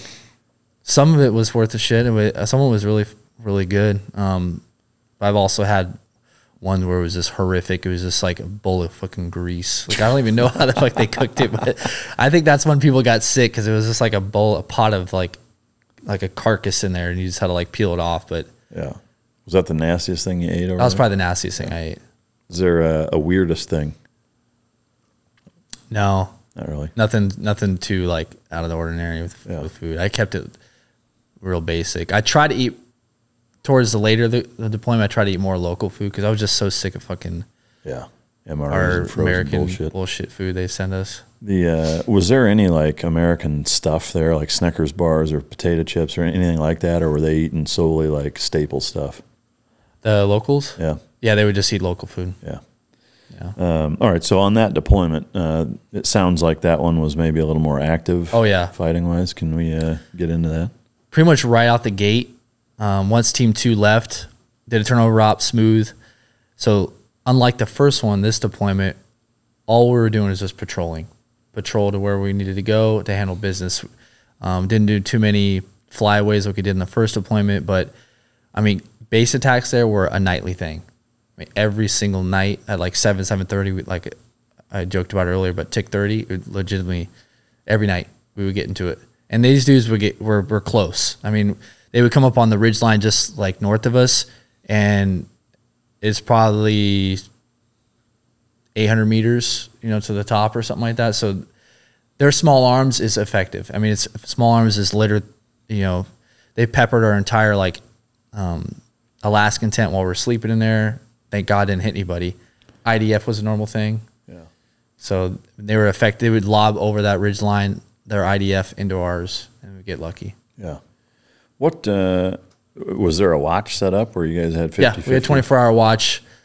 We had two guys, um, basically on a guard tower, um, two guard towers, and our little fucking VSO site was pretty beefed up. And we had a minigun, we had a 120, we had you know Mark 19s on every corner. I mean, we were fortified. We definitely had enough ammo and weaponry to fucking handle business. We did every time we got into a tick. But that being said, just because our position, um, it, just terrain wise, it was poor. Yeah. We were, we lacked the advantage there. Man. And We're- every time we went out too, they would we would mix it up with them. Yeah. Every time. Pretty much. Yeah. Yeah. At night, uh, I know you said around dusk. Were there ever in the middle of the night they'd fucking try to overrun the base or anything like that? No. No, never had the balls to do that. To me, that's kind of surprising. I Man, I don't know if it's that it's the fear of the unknown of close air support being nearby or, or not or whatever. Man, I don't know how close they were. I'm assuming similar to last time is that you get them on station fairly quick. But yeah. I, I guess from your perspective, I mean, if let's say two in the morning, there's a group of fucking hundred of them that just fucking try to storm your base, like they're probably going to be able to get away with that, right? Oh yeah, I feel like they would, just because the n- numbers out. You Yeah. know, I mean, I mean- there's there's been times where we've been in um, our ANA guys have been in um, firefights right in the green zone where their base was. Like dudes crept up, not like a big squad of TB, but five or six dudes, and they would just they hammered it. They got into a little a firefight. So that's close. I was within like hundred yards of our fob. Yeah. So it was damn. It was wasn't up, up on us because we kind of crested this hill, and then they were kind of beneath us, and then the green zone. So they would sneak through the green zone, fucking fire at their little hooch where they stood watch too, Yeah. and they would get after it, but Wow. Never in the middle of the night they would try to attack. not in the middle of the night. yeah. No.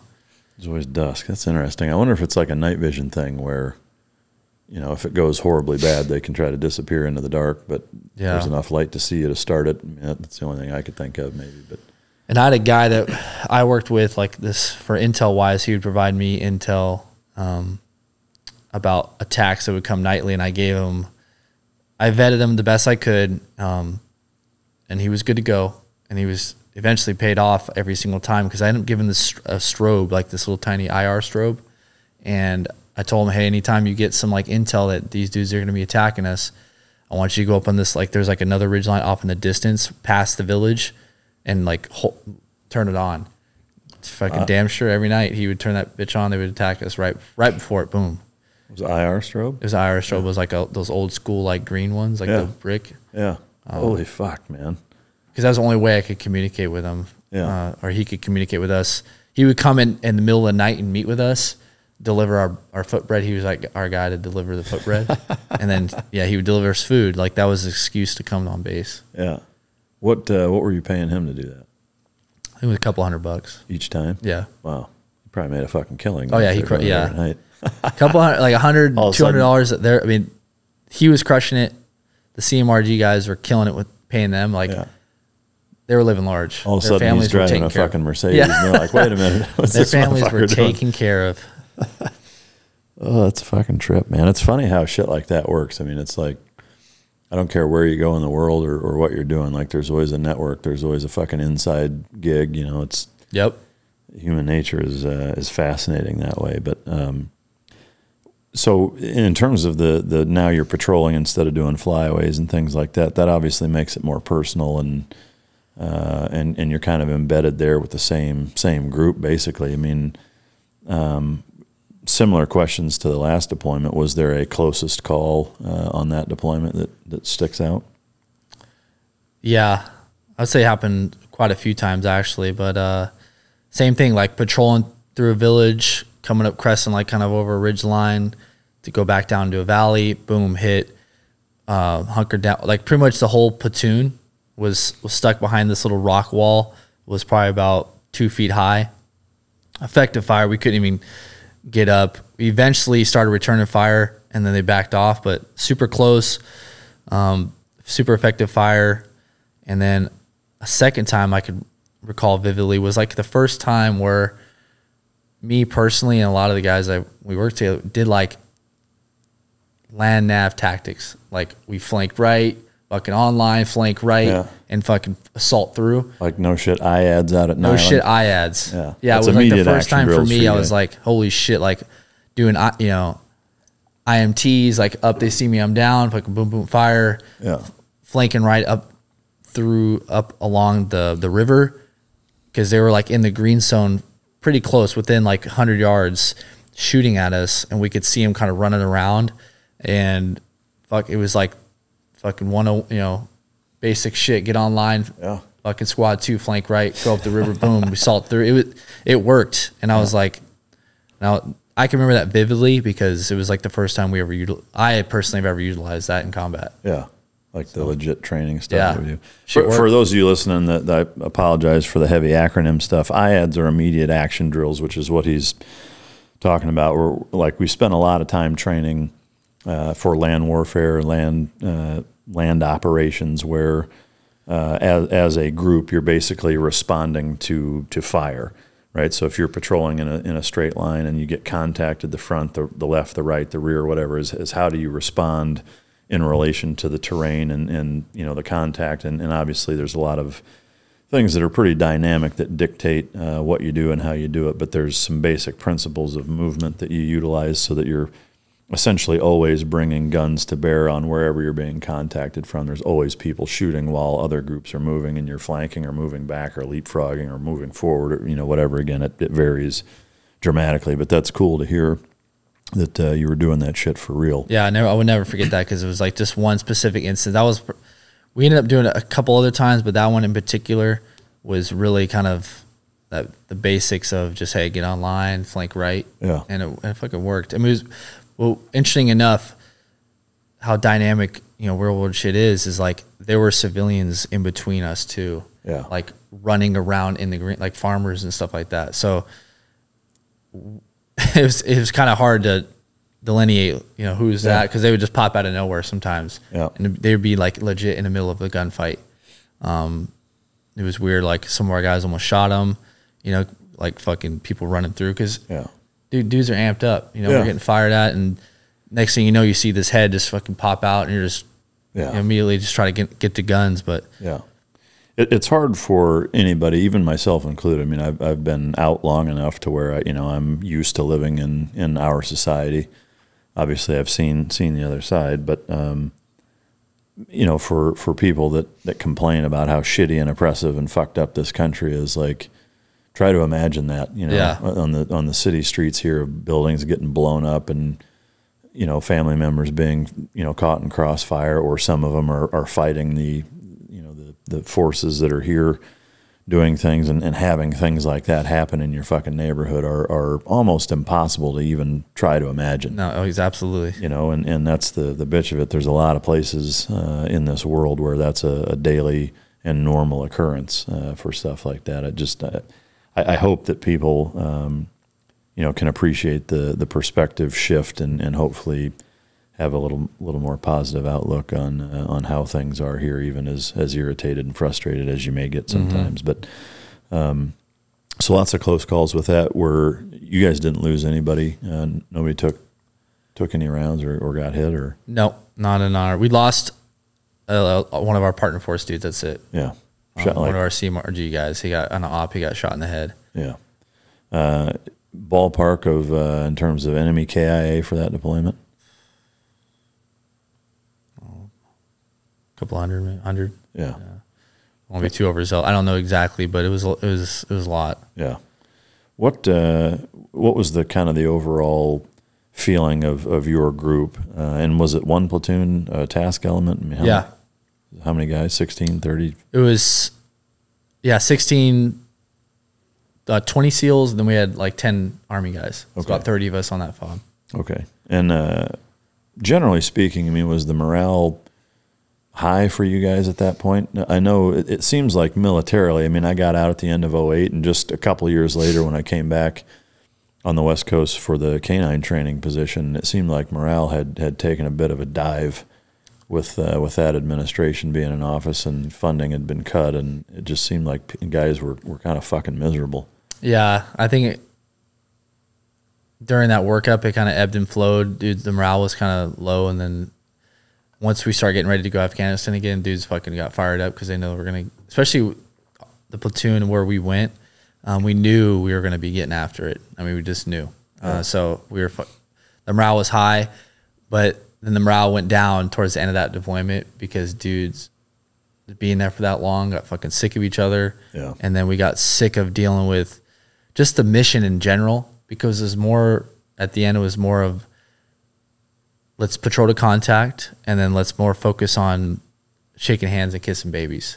Yeah. You know, not really doing not really going after the fucking bad dudes, Yeah. um, which need to be taken care of. Uh, it was more of like, hey, let's rebuild, let's build these people bridges, let's you know build them school, which is o- which is all necessary and needed, but it ended up being just 100 percent focused on that, and dudes got real pissed off, Yeah. and they got just just disgruntled, like, why the fuck am I going to go risk my ass and build a bridge, and the next thing we're leaving, they're just going to destroy it, which they did, Yeah. and we ended up destroying that fob anyway. We left, no one's there anymore, Yeah. so. What area was that? Arghandab Valley, Same. same area, same province. Yeah. I, you know, I am curious. Uh, I know every platoon is different, but for for your experience, from your experience, going to Afghanistan either time, both times, did did you feel like your leadership um, sat you guys down and gave you a clear cut? Here is why we're here. Here's what we're trying to accomplish, or was it very piecemealed? I think it was piecemeal as we needed it as like as time went on. Yeah. I think at, on my second deployment, I had great leadership both deployments because a lot of uh, the same people carried over to the second deployment. Um, so we had a relationship there. But I think on the second deployment, when it came to that tipping point of what the fuck are we doing here? Like, this is a waste of time because SEALs SEALs don't want to just go there and just build shit. Yeah. You know, that's not what we're meant to do. So that's when they really like hammered home like this is the why, this is what we're doing, this is the mission, this is the focus. Really kind of broke it down to our level and why they're getting pushed this cr- shit and they push it on us, Yeah. um, which was nice. But that being said, dudes didn't like it anyway because they didn't like the mission. But um, I felt they did a good job. At least my leadership um, did a good job. Yeah. Yeah. Did you feel, um, I guess you personally, like from the 30,000 foot, foot view uh, standpoint, did you feel like you knew why as a country we are there and, and felt good about it? Is that, is that something that came across your radar or, or was it more, hey, I signed up to do this? Yeah, I don't think I ever like really sat down and kind of went through that in my own head, like Yeah. why we here. I'm more just down and in Yeah. kind of mindset. Yeah. No, I mean, I Looking was, back, that's how I felt it was. yeah. Do you feel more analytical that way now at, at your stage in life than you were back uh, when you were? No, now I'm more up and at like way more big picture now. Yeah. Now I pay attention to it more. Yeah. Um, what's going on in the world and just life in general. Yeah. Now that I'm out. I, I'm right there with you. I mean, uh, my time was in Iraq, but similarly, like I never thought, hey, should we be here? Should we not? I think operationally, it's it's actually important to just focus on Yeah. the things that that you have the ability to to to deal with and control, sort of, uh, and not really think about it that way because it, it really doesn't matter at that point. I mean, No. you know, but. I I know now, like being in my 40s, there's no way I could do stuff like that, you know, and not know what the fuck's going on and, and feel good about why why we're doing what we're doing. But and, and maybe that's why that's part a big part of why warfighting is such a young man's game for the for the most part. Absolutely. Obviously, the physical part's huge too, but I don't think physically I could fucking still still run at that pace. But um, uh, so similar question in terms of big bi- biggest success, and did you have dogs with you on that deployment? Yeah, we had a dog um, that worked with us. So at this time, the dogs, the handlers were dudes from our platoon. Like they would farm out. They got you know kind of that. That was a new initiative. Yeah. Um, So they took a who a volunteer. Hey, who wants to be more of a senior dude who wants to be a handler? and they would go to the school. Then they would come back and they would do the full workup with us. Yeah. So the dog was very integral part of our Yeah, platoon. that's cool. What was the dog's name? Uh, Blitz, I think. Blitz. Um, the handler, his first name is Josh, but uh, great dog. Um, good to go. Found a lot of uh, IEDs, yeah, uh, and yeah, he was an integral part of our platoon. Like he was part of. The, he was a teammate for Yeah. sure because we had him from the beginning. yeah. Did, uh, any bites? No bites. Not that I recall. But he so he was living in that same shitty environment with. Yeah, guys he was. time. Just Yep. uh, would they just airdrop dog food for him? airdrop dog food for him. Um, initially, the handler was living in the Alaskan tent with like ten other dudes, but then eventually we ended up building his own little B-hut Yeah, with the dog yeah, to separate him. Yeah. because then it, it was just too difficult. yeah. Yeah, I mean, yeah, fucking middle of the night, people coming in and out like that'd be a fucking nightmare. Yeah, and you got we're we like made in the Alaskan tent. It can only hold so many people. We ended up using the parachute to make like these little dividers. So we have our own little three by three cubicle in there. Mm-hmm. Our own little some privacy. Yeah, Um, but Whack it's just shack. yeah, exactly. Little little whack shack in there, but it's just too small for yeah, the the kennel and the Yeah. and the handler. It's just too much. yeah. The uh, the overall demeanor of the dog throughout the deployment. Did you see a shift in in him living that way, getting you know with the contacts nonstop? Did he did he seem to change at all, or was he pretty even keeled? I think he was even keeled. Yeah. dog, dog was locked on Yeah, for sure. Uh, he never he never changed uh, one bit actually. Even Yeah. during contacts, he was fucking solid. solid. Yeah. Uh, from a success standpoint, is there an operation or a, a thing that stands out as being the most successful during that deployment? I'd just say that whole deployment was a success in my opinion because it's just of what we got to do um, and the experiences we had. Yeah, at the end of the day, we got rid of it. I mean, we burned it down to the ground. Uh, So you burn it like and then left. yeah, legitimately. How, how was that? Was that kind of a liberating feeling, or was it we bittersweet? got as much everything out of there, and we leg, legit set it to fire. Like Yeah. we let the Hescos, but like everything, everything we couldn't bring, threw it all in there and lit it on fire with diesel fuel. Was there was there a bittersweetness to that? Yeah, it was a bittersweet for sure. And dudes, were, it was kind of like at the same time, um, dudes were pissed. Dudes were like, "What a happy?" You know, it's kind of like a bittersweet type thing because it's like, "Hey, we did all this freaking work, built that thing from the ground up. Yeah. You know, fucking risk our ass out there, and next thing you know is like, pack up shop, get the fuck out. Yeah. That place is a, it's a loss. We're gonna write that place off as a loss Yeah. because at the end of the day, it was so it was just too difficult to really make an impact. I would say, Yeah. to to have an influence with where we're at, the amount of people, logistically, and the resources we are able to give the people. It wasn't, and it was such a high threat area. Like no one wanted to come there. No one, no, no one wanted to come. No asset wanted to come. Helos barely wanted to come. Drop people off there because every time they came in, they would get shot at. Yeah. So they were like, "Fuck that, we ain't coming." And irrespective of weather and time of year, there's no way to drive in and out of there. No, So I mean, how were the locals? They all on foot. donkey fucking packing shit in. Yeah. there? Wow. That, that is fucking remote. We had to cross the river every single day. Yeah. the Arghandab River and fucking get soaked. That was a part of our daily routine. Was literally just like crossing the fucking river river crossing every day. How deep was it? Oh, some parts over your head, Yeah. and then other parts we like ankle, knee deep, Yeah. waist deep. Shitty water or clean? Shit. It was dirty. Yeah. I mean, like clear or, or not? No, not clear. It was kind of murky. Yeah. People use it for yeah, the drinking. Obviously, use it for farming, and then they would fucking use it for as a bathroom too. So Wow. Better get upstream. yeah, I get up fucking stream away from the village. Fucking Christ. Um, when you guys bagged ass out of there, um, I mean that that's a process with the shit that you had there, right? Did you have to airlift stuff out ahead of time? And Yeah, a lot of airlifts. Um, came in to load load all the sensitive gear up, all the ammo. and they're getting lit up while they're coming into, I mean, yeah, majority of the time they would. even Um, as you're leaving. Yeah. Yep.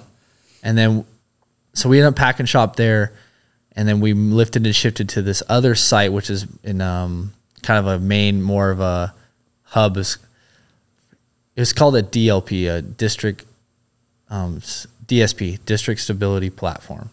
Basically, it's like bigger than a VSO site, Village Stability Platform, or VSP. Um, basically, you're near kind of like the district and key leaders in like this little city. I can't remember what the city was, but it ended up being ran by Romanians. Romanians used to be there, so we took it over because Romanians left, and it was it was it was a legit fob. It was built up. I mean, we were living in like we went from living in Alaskan tents to living in B-huts. We had a chow hall. We had you know it was we had a huge we had stuff. We had a gym. So it was different living towards like the last month and a half, two months. Were the operations similar or were they different? they were different. We had we had like we had mobility platforms. We go out. We barely went out. That towards the end, like the last month, we didn't really do much. Um, we went out a few times. We inter- did some uh, vehicle interdiction coming off like this main highway right in front of our fob. A lot of dudes who would track um, their cell phones. Hey, coming in. Hey, you got a guy coming in right near you, and we would just interdict their vehicle right there and just stop them. Yeah. Uh, Any hairy shit that last couple months? We got like a couple ticks. Um, the dudes got close, um, but nothing too crazy. Yeah. Yeah. Uh, overall, when uh, and nothing with the dog. That was the dog still with you? I'm assuming at that point. He was, but yeah, nothing significant with the dog Yeah. that I can recall. Yeah. Um, I guess your perspective and your platoon's perspective at, as you wrap that deployment up, uh, what what was that like? The whole in general, I thought the whole experience was was phenomenal to me. I mean, that was the, the best deployment I've been on Yeah. at that point. Um, What uh, what made it that for you? I think it was just the whole experience in general, the way we were living. One, it was really rugged, and uh, you know we're all freaking suffering there together, and being away from the flagpole sort of sense where we could do what we want when we want. Um, the, the amount of combat we got into, the, the fighting we got into, which which was huge. Um, some may, people may think that's a bad thing, but it's we got to do our what we were trained to do, in my opinion. Um, that's that's every kind of team guy's dream is you, you bust your ass through training and then you want to go overseas and fucking put it to the test. Yeah. And we really got to do that on the deployment, so I'm very grateful for that. And it's and just everything we got to do, just every experience, lessons learned, you know, losing some guys, working with partner forces, building relationships. Uh, it was just it was a game changer for me. Yeah. Um, uh, sounds like not not all of your platoon mates felt that way. Yeah, I would say not. I mean, they all enjoyed it because it was a great deployment, but I'd say towards the tail end, there were some people that were pretty pissed off just because of what we were doing. Yeah. Uh, were there any big accolades for you or any of your platoon members, uh, Bronze Star, Silver Star wise, on that deployment? Uh, nothing crazy. A couple guys got like NAMs with V's, uh, with Valor. Um, our chief got a BV, Bronze Star with Valor. Because uh, he's a chief. Exactly. it wasn't like anything. Yeah. It wasn't like a heroic moment or anything like. Not that I remember, but some yeah. dudes got awards. There were some dudes that did some good shit on on the battlefield that deserved uh, yeah. um, valorous awards. Yeah, maybe not a level of bronze, but definitely like a Nam with V and stuff yeah. like that. Yeah, right on. Uh, all right, so you guys come back from uh, from that deployment. Did you know right away you're going to be going to Colombia uh, on the next one?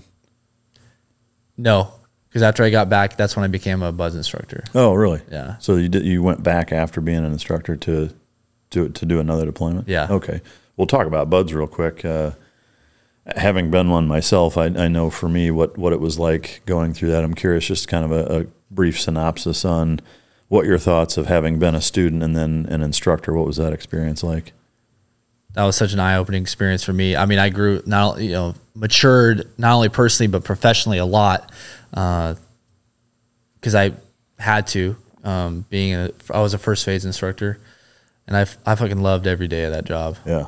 I mean, I knew right before I even went there, I wanted to be first phase. There was no other phase I wanted to go to, so I called immediately called the operations like, "Hey, I want first phase." Did you pick uh, going to the center, or was it? Yeah, yeah. So I wanted to go there. I wanted to be an instructor um, and kind of learn that side, and also kind of give back to the community.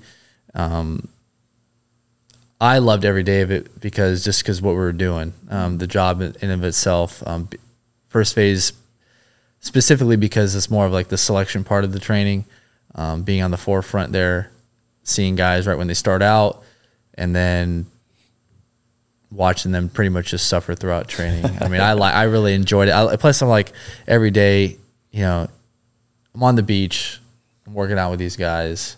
Yeah. You know, I'm outside, like you couldn't really ask for a much better gig. Yeah.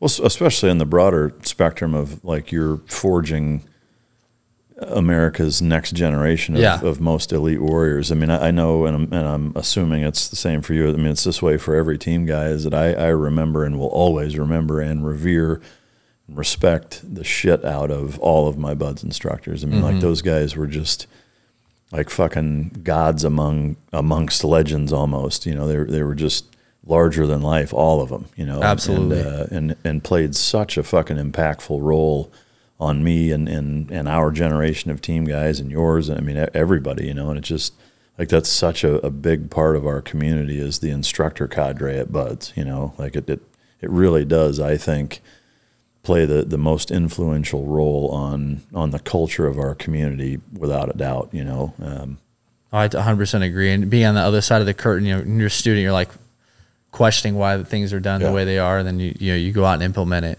uh, and enforce this curriculum, which yeah. curriculum is proven. I don't care how they try to dilute it or whatever. The curriculum hasn't changed. Even when I was an instructor, that there's people coming and try to dilute it. Yeah. People questioning it, and I think at the end of the day, the curriculum is what it is, and it's effective, and that's what weeds out the people that don't want to belong there and people who do. Yeah. Um, but I, am with you. First phase was instructors were my most influential. Yeah, that's the ones I remember. Yeah, there's a couple second phase, but yeah. Was there a uh, a biggest hammer instructor of yours that you remember? Um, Rideau was there when you were there, right? Rideau, Baldwin, uh, Romero. Yeah, Baldwin was a fucking hammer, huh? Yeah, Baldwin was always like a hammer. Yeah, yeah. he always that's fine. I remember him specifically being just like ruthless all the time. Yeah. Like he would never, he was always just fucking just pissed. Yeah.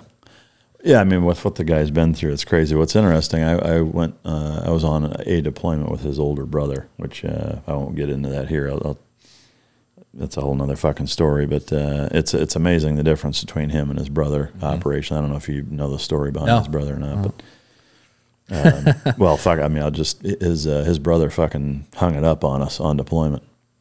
Like uh, we we did we took down the GoPlat at the start of the Iraq War, and then Okay. and then we we stole an Air Force Humvee that was green, hand painted it fucking tan the night before, loaded all of our shit up, and drove up into Nasiriyah across the border. And and just as we were about to load the the vehicles, his brother fucking quit. Like said, I can't can't go, I can't do it. Wow. Yeah. So, and then his brother was the exact opposite of that. you know, Yeah. And I don't know if that's part of why he was that way, you know, but um, yeah, I mean, they, they were polar opposites that way, but fuck, I got to sneeze. Um, or not. But yeah, the uh, I remember being an instructor with, with Baldwin for a couple of hell weeks, uh, being on the same shift. And yeah, I mean, that dude was, uh, he was intense, man, no doubt about it. He was, uh, he was always walking the line of, Oh yeah, he was walking the line of like going too far and like yeah, of what of what's even fucking maybe legal. Oh, yeah. or, or not, you know. But when it was when and then fast forward to when I'm an instructor. Oh man, I could, it was just so easy to so Yeah. easy to cross that line because you get so fucking pissed. yeah, well, you know, and I think uh, you know, for those listening, that maybe it's hard to uh, rationalize that or, or understand. I mean, it. I think that when when you go through, I don't think I know when you go through and you've been to war with these guys and you know what that is like. And now you see this fresh crop of dudes that want to do that also, and you know that these guys are going to be going to teams that, that your buddies that you've been to war with, or or what have you, that you're tight with, that you know your brothers with, are there. Is that you know that's not a game. You know, it's not a competition. It's not a game. It's not a joke. It's not.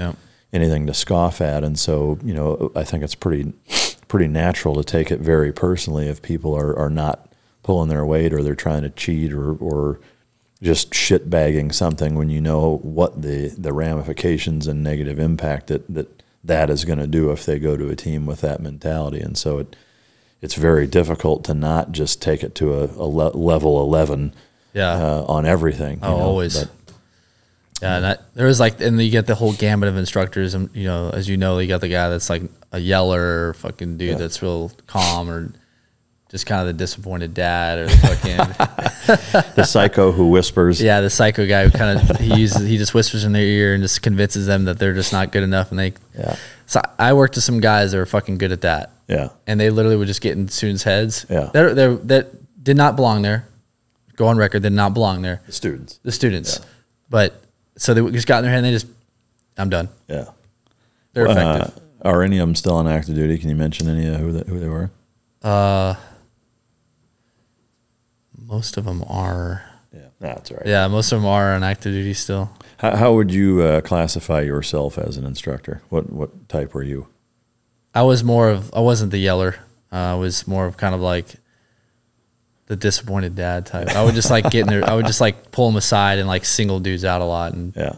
get in their face. But I wouldn't be like this outlandish um, instructor on out there. Yeah, Were, were uh, did you ever get voted as the hugger instructor? No, I did not. We had a guy that uh, definitely did. He was like this huge. He was like six two, big. He's like a big teddy bear dude. Call him a big hugger That's funny shit. because you would uh, let people, and this, especially the class was proctoring, Yeah. take it easy on them. Yeah. did uh, did you ever kind of single handedly make anybody quit? Not necessarily intentionally, but just you're I'd say yeah. Like when I was a proctor of my class, um, basically every class, those who don't know, gets assigned an instructor who's their proctor. Basically, is like the me- conduit between the rest of the instructor staff. So, but it's it's actually an honor to be in a proctor because not every instructor gets to do it. It's not like a guarantee. Mainly, the head should will say, "Yeah, Kennedy, take this class or whatever." So I was I was pretty I was grateful that I got to do. at least- I did it once yeah but being there, I was able to, I knew the guys better than the rest of the staff because I would stay out late, I would show up early and get to know these people. But yeah, I would have some talks with people and they would quit like immediately. they would, that's a trip, man. because they would look at me like, you know, the whole, the, you know, fucking instructor Kennedy doesn't like me. So I got to get the hell out So, of here. I mean, like- I would just tell them straight up, like, you're not meant to be here. You know, I would just, I'd be heart to heart. Yeah, the tough talk. Yeah. Yeah, that's a fucking trip. Uh, all right, so you spend uh, was it three years? two there? years there 2013 2015 and then i got a spot hey lpo spot at team four again so i was like yeah i'll take that definitely so i went back to team four and then I was LPO, leading petty officer in a platoon, and did a full workup there. Did you know you were going to Colombia during the workup? Yeah, I knew I was going to South America. Yeah. Uh, yeah, because I just the troop I was in, I was in three troop. Their AO is Southcom, South America. I just I knew, but I didn't know exactly where I was going to go in South America at the Yeah. time. But I am going to Colombia, and I'm going to Cartagena, Colombia. Oh shit. Yeah, It's like some fucking uh, romancing the stone action. yeah, that was a it was beautiful place too. It was like a little mini Miami. Yeah. There is a lot of hot ass there, correct? Yeah, there's a lot of beautiful women there. You can say hot ass. It's. It's like Yeah, there's a lot of there's yeah, definitely. the uh, but the overall um, I guess culture there is is pretty corrupt, right? I mean, Oh like yeah. Is that a big part of why you're there? Can you talk about kind of what the the big mish was for you guys to go there? The big mish there was more of advise and assist Yeah. their partner force. Were, Um, how competent were were they, or were they not? Barely. I mean, they're okay. We we work with their quote unquote SF unit, and the funny thing is, like the police force in those types of countries are corrupt as they come. Yeah. They don't they don't really utilize their police force to kind of inter- do any type of interdiction or type of enforcement. They use their military, which is more vetted. The the dudes are more trustworthy.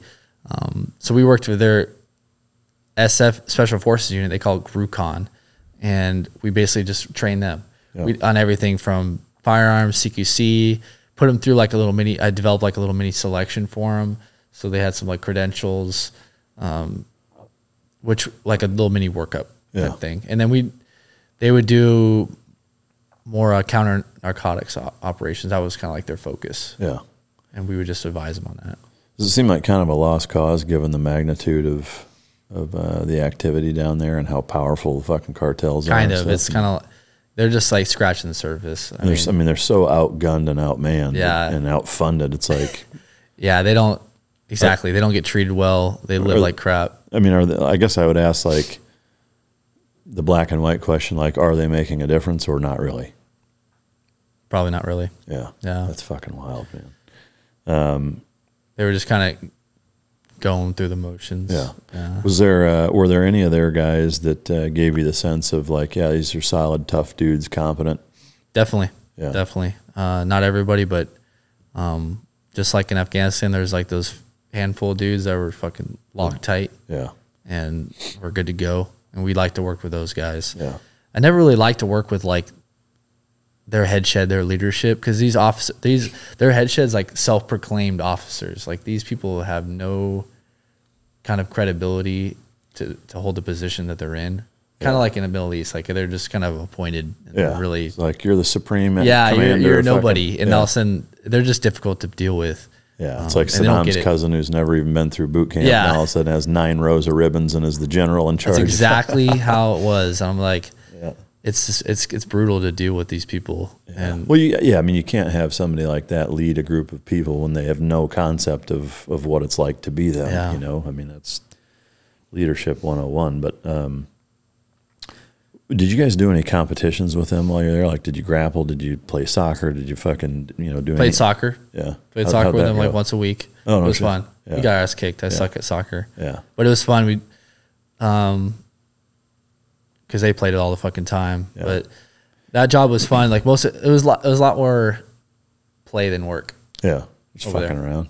Yeah, for sure. I, Did they I'll, I'll be honest. Did they take you guys out and fucking party it up? Uh, yeah, we would go out with them. Yeah. A few of them, not all of them. yeah. Um, we would go out with them because we live like twenty minutes away from downtown.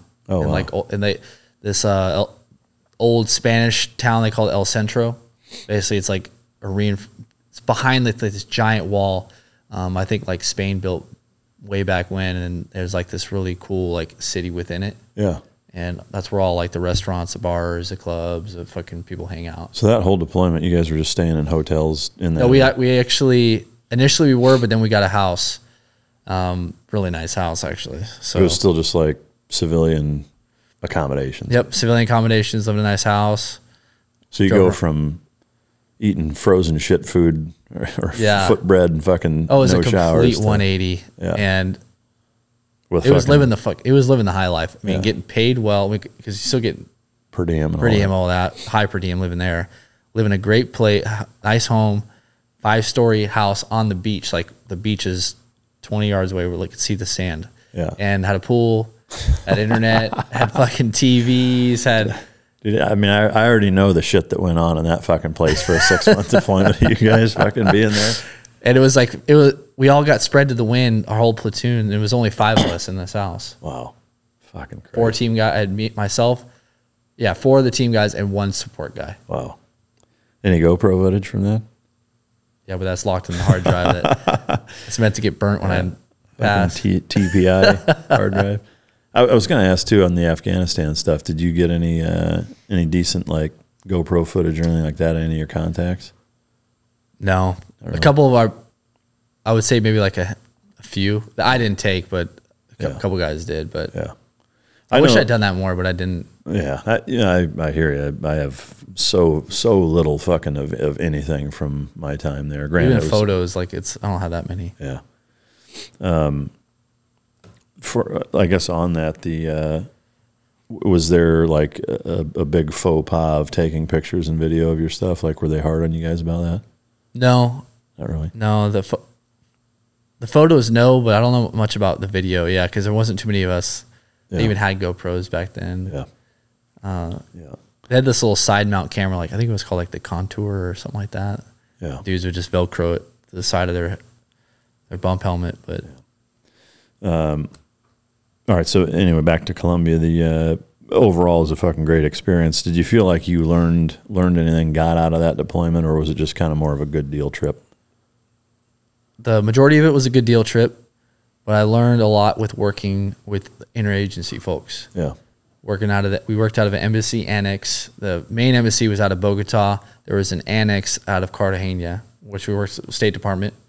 Um, I used to go in there daily with my OIC, and then we worked alongside DEA, and we also did some stuff with the CIA liaison that was there. What was your impression of both of those organizations, competency wise, professionalism, et cetera? To me, they seem like fucking clowns. And, Yeah. and the experience that I've had with either of them has not been positive. It's been a long time, also. But the dudes that we inter- the DEA guys we interact with live there. I mean, Yeah. they lived there for like past four or five years. oh wow, Um, it was hit and miss. Um, we trained some of their guys, but I don't. I felt like everything they did, they were doing some shady stuff. Yeah. I don't know. They just to me, it's like I don't know what they were doing. They're the guys walking around like a bunch of drugs and whatever they're working with their partner force. Who knows what they were doing, but it just seemed like it was shady. like yeah. In my maybe they weren't, but have you seen the show Narcos? yeah, Yeah, like like those that. two guys. It was like that. Yeah. The fucking cheesy mustache. Yeah, I can see that. I mean, So and they they like embraced the whole culture there too, and it was like yeah, had a couple wives and a couple of this, couple of this. Yeah. but the CIA guy, he was really cool. But that was that guy was interesting person. yeah. Is there a craziest story from living in that house on that deployment? We never had any, uh, nothing crazy. We never did had any like house parties there. Yeah, That was a no go. But uh, that was like never. We didn't want to risk it. Um, but but we did a lot of stuff out in town. Uh, we trained some. We actually made like a selection course there right in front of our house. It was pretty funny. Like we would beat this fucking partner force right in front of the beach, in front of people eating food around the. I mean, did the people that you were that lived around you did they know who the fuck? it was so so. It was so odd. Like it was our house, like this nice brand new.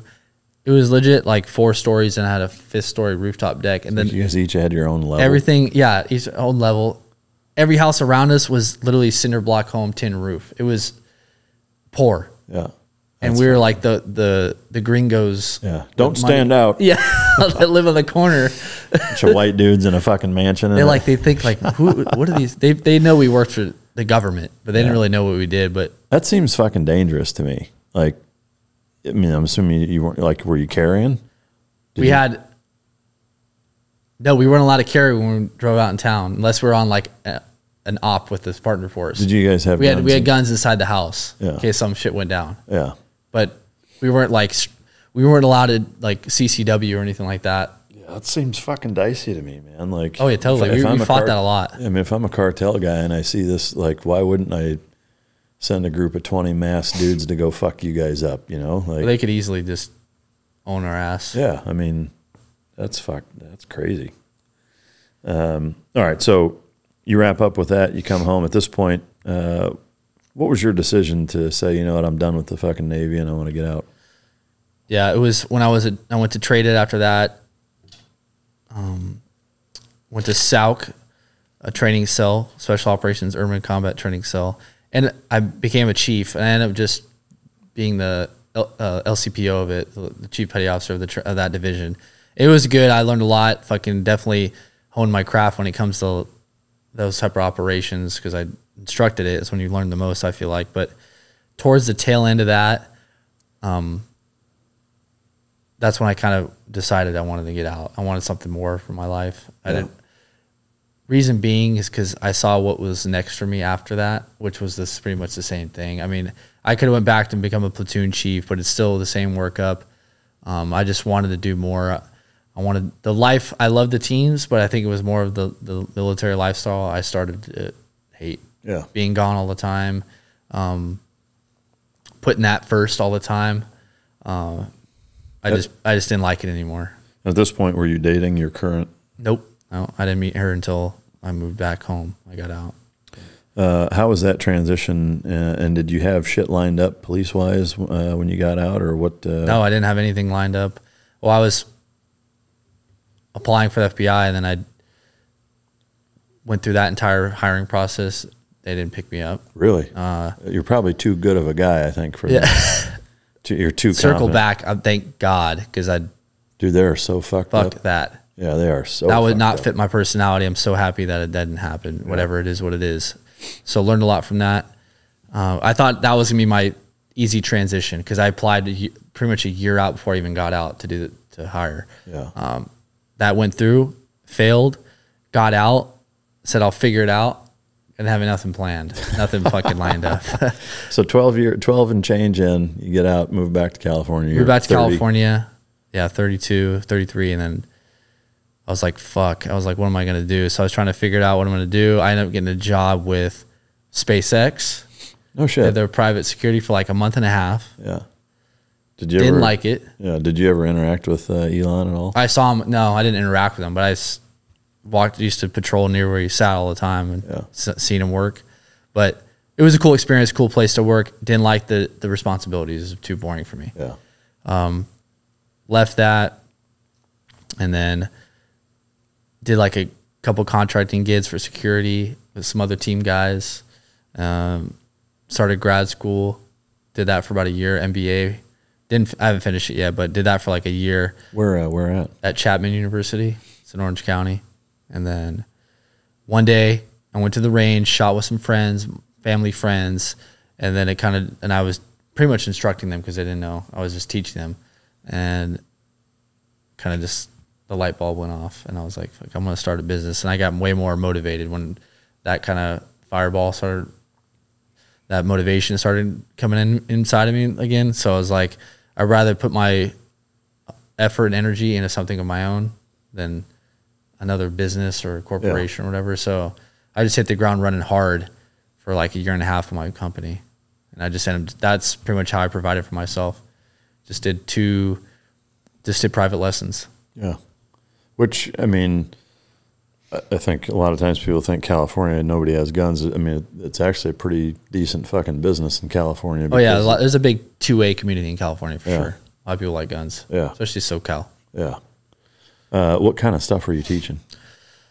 rifle pistol mainly um, similar stuff that I, we were taught in, Just in training basic, uh, yeah it's like combat shooting type stuff mainly the majority of it honestly was just more handgun and basics just basic basic fundamentals Yeah.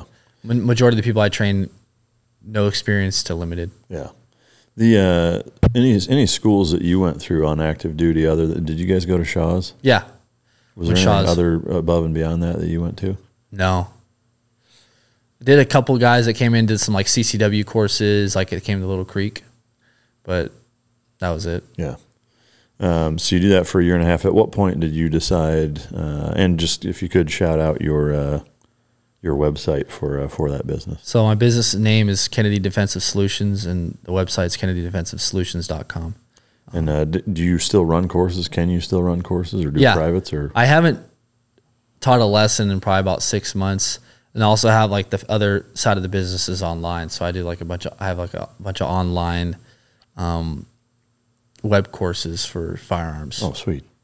Uh, is there any conflict of interest issues with uh, police doing that? Uh, no, if I were to train like my own department, yeah, yeah. uh, I believe, and I wasn't technically allowed to like work when I was going through initial training for to become a police officer. Yeah. I still kept the business running. I just stopped in person services pretty much. Oh, okay. Um, what what made you decide uh, to to go be a law enforcement officer? Uh, I think all the stars aligned. I've always it's always kind of been in the back of my mind. I've always been interested in, in law enforcement. I thought it'd be a good path. Um, for me, I thought I'd be pretty good at it. Uh, but as I started training people, I met more and more cops in my area, and it kind of just sparked my interest. And and I was like, I felt like I that I felt like I knew I wanted it and needed to do it. Um, and every person I asked kind of directed me towards the department I'm at now. And at the time I joined, like at the height of COVID last year, uh, so it was a bad time for police. Um, but it all worked out because the place I'm at now is is incredible. Yeah. in my my opinion. I mean, I'm all, I'm biased. I only know one department, but I know in my area it's it's it's as good as they come. Yeah, that's good to hear. Um, what was the experience like going through the academy as a guy in your 30s with multiple fucking combat deployments, being a SEAL? Like, That was that was the toughest thing, probably mentally for me. I mean, physically and everything else, it wasn't that challenging. It was pretty fairly easy, to be honest with you. Uh, I didn't go there for the physical challenge, but I learned how to become a cop, which was challenging to to think like a cop. Uh, and also, it's more like you're getting flashback to like Navy boot camp. You're literally marching around everywhere. Everything you say, everything you do is scripted yeah, it you and you're yelling at the top of your lungs, which is hard for me. And when I went in there, they already knew who I was. They already knew my background, so they immediately thought I was going to be some arrogant dickhead. so they try to test me all the time. In the beginning, at least, they eventually found out like, hey, I'm I'm here to play the game. Yeah. I'm not here to fucking think I'm cool and better than all of you. So they laid off me. Um, but it was a fun. It was a fun experience. Was it six months? Yeah, six months long. So it's a pretty good amount of time. And the hardest thing I found for me was just shifting my mindset to think like a cop, to be more analytical, more than not, yeah, not the sense that SEALs aren't analytical, but just SEALs are more like offensive kind of mindset. Maybe a little less reactive. Yeah, less reactive or more like, hey, let's just handle the problem right now. Yeah. And being a police officer, it's more of talking to people, uh, the nice gift of gab, and solving problem solving. And yeah, you're you're reactive. You got to react on people's reactions, mannerisms, what they say, what they're doing, and how to decipher. All at the same time, you're kind of deciphering the, the laws and the crimes that this person may have done or violated, and you're kind of use it to your advantage uh, to see what you got. But that was the hardest thing for me. Yeah, I, I am curious. I mean, from a a mentality shift standpoint, going from being in combat scenarios to where now you're on the streets of America, which is clearly very different. How do you uh, kind of interpret it that way, or, or how do you go about the day to day to to stay focused uh, that way, as opposed to defaulting to that that more min, uh, uh, military mindset?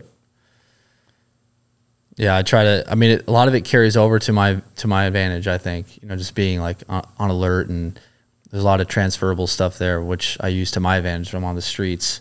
Uh, not that, but on the flip side of that, not every person I react or come in contact with is a bad person, Yeah. and I, I got to remember that. Um, so I, it's in this job, I feel like it's really easy to get jaded and calloused Yeah. um, with with dealing with people.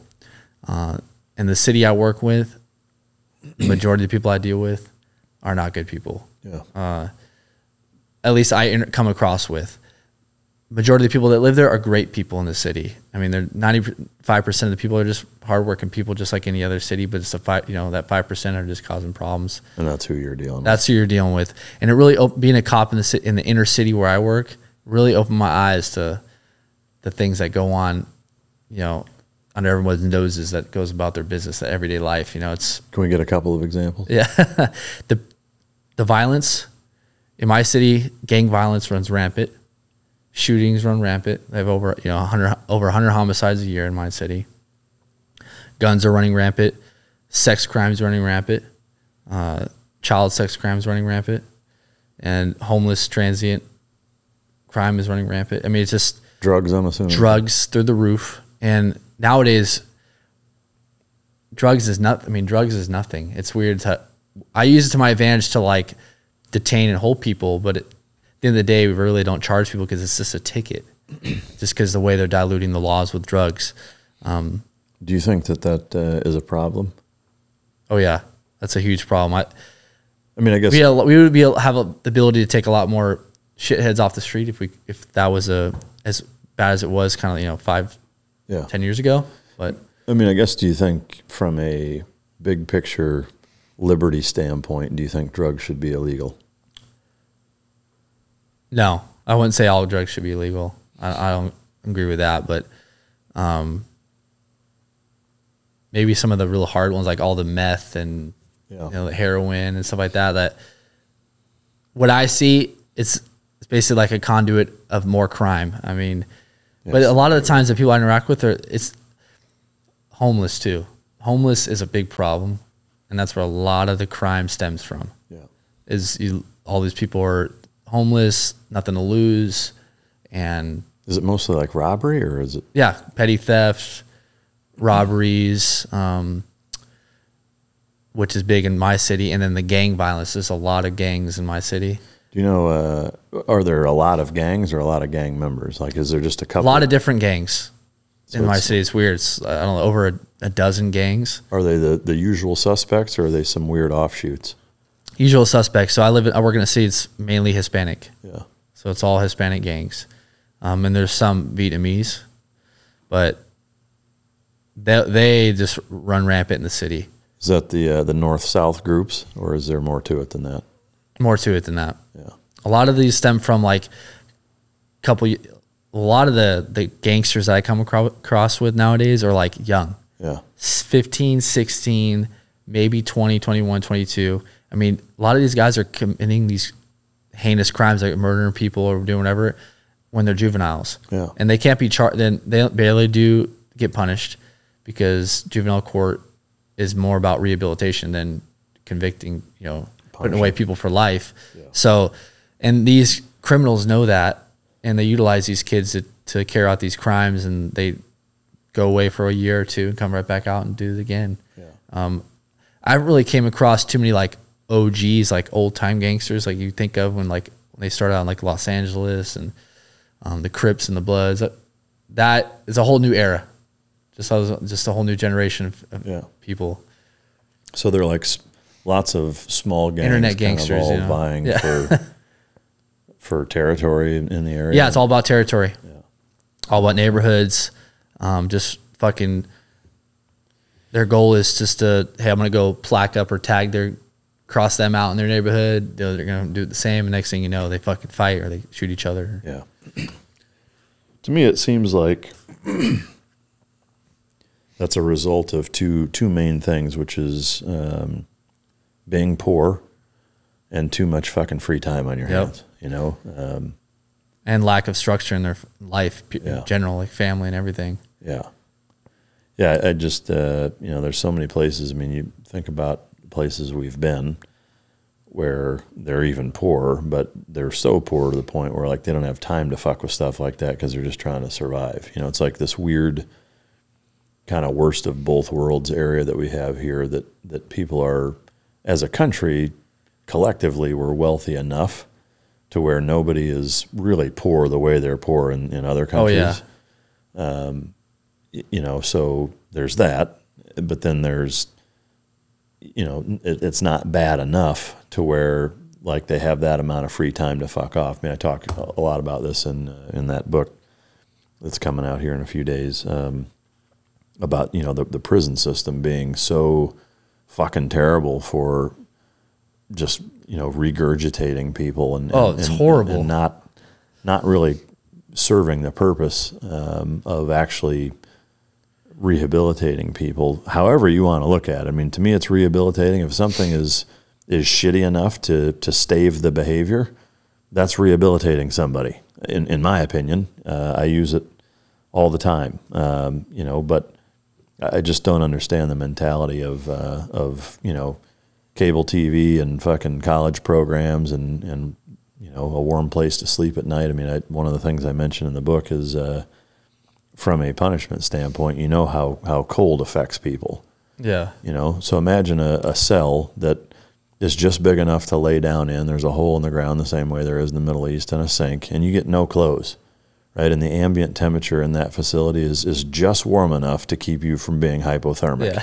Yeah. Two weeks of that, and I, I guarantee fucking to you, You're gonna change. people aren't going to go aren't going to they'll do whatever they have to to stay the fuck out of that environment right and that's i mean you can do that in a few days you know i mean hell week is f- five and a half fucking days long you know you add water into it and now now there's you know a portion of the country that's going to consider that cruel and unusual punishment which is by the letter of the law illegal which you know even that is subjective because what's cruel and unusual is in the eye of whoever is it's being yeah. done done to but I just think you know it, it's pretty clear that prison systems are, are more of big business than they are anything else. Uh, you know, there's more more people in prison nationwide than there ever has been, and, and more than in most other countries combined.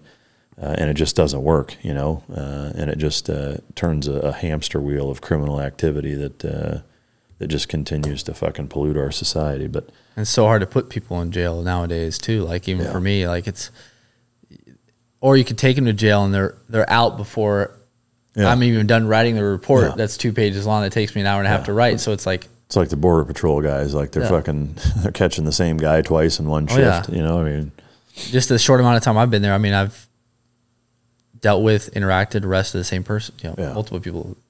So what? it's, uh, it's ridiculous. Yeah. What is the most common arrest that you're you're coming across? Probably domestic violence. Really? Um, is it always to a point where like when you show up, somebody's had the fuck beat out of them, or is it kind of a wide range? So it either falls between we call it like a DVR, domestic violence report, which is basically just a verbal argument between your spouse or significant other, or you actually have a domestic violence crime, which is like when you put hands on each other by a woman or male, it doesn't matter. But I would say it's a, about a split, um, but those happen every night, multiple every night. I'm probably giving like a good hook once a once a week, twice a week, maybe arresting someone for it Yeah. Because it's in California. It's you shall arrest. It's not like I can't use my discretion at that point. As soon as someone you know, uh, someone says, "Yeah, he punched me," or you know, the person has marks on them, it's a done deal. I have I can't I can't be like, okay, no, I'm not going to do it. So in, in, in an environment, let's say you there's a there's a call and you show up and there's no marks, but a woman says he punched me and he says no, I didn't. You have to arrest him.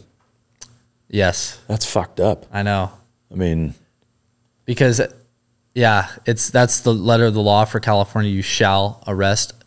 Me as a police officer, I need to identify who's the dominant aggressor. yeah, So I, there's plenty of times where the chick's done that and we arrested the chick because she's full of shit yeah. or she's being suspicious and acting, making shit up. You ever arrested a woman for whipping a guy's ass? No, not yet. Not yet. But men and women are the same, I thought. Yeah. I arrested the same thing. I arrested the guy last week for this and it was, she said he pushed me, pushed my shoulder in the back of my mind. You know, it's my job and I'll, I'll handle it. But it's like at the same time, you can always have that innate feeling. You're like, come on, Yeah. you know, like, but it is what it is. I mean, it, the thing is, it's more of a liability thing than anything, in my opinion, because if we leave, it, it all something stemmed from the OJ Simpson shit. Yeah. If we leave, he ends up killing her, and then it's like, well, what? You were just here. Why didn't you do something? Yeah. And it's on me. So nowadays like liability is huge with police officers, and everyone's so like you're walking on eggshells again. Yeah. Do you worry about, uh, or, or I guess do you do you come across instances where, um, in a situation like that, the guy is like, "I'm not fucking coming with you. I didn't hit her. Fucking, if you want to arrest me, fucking try it." Like, do you ever run into that? Yeah, Because to me, that like that that's where where I I would even argue with police leadership from a liability standpoint is that most and granted this is completely anecdotal. I'm going off of what it seems like, so keep that in mind.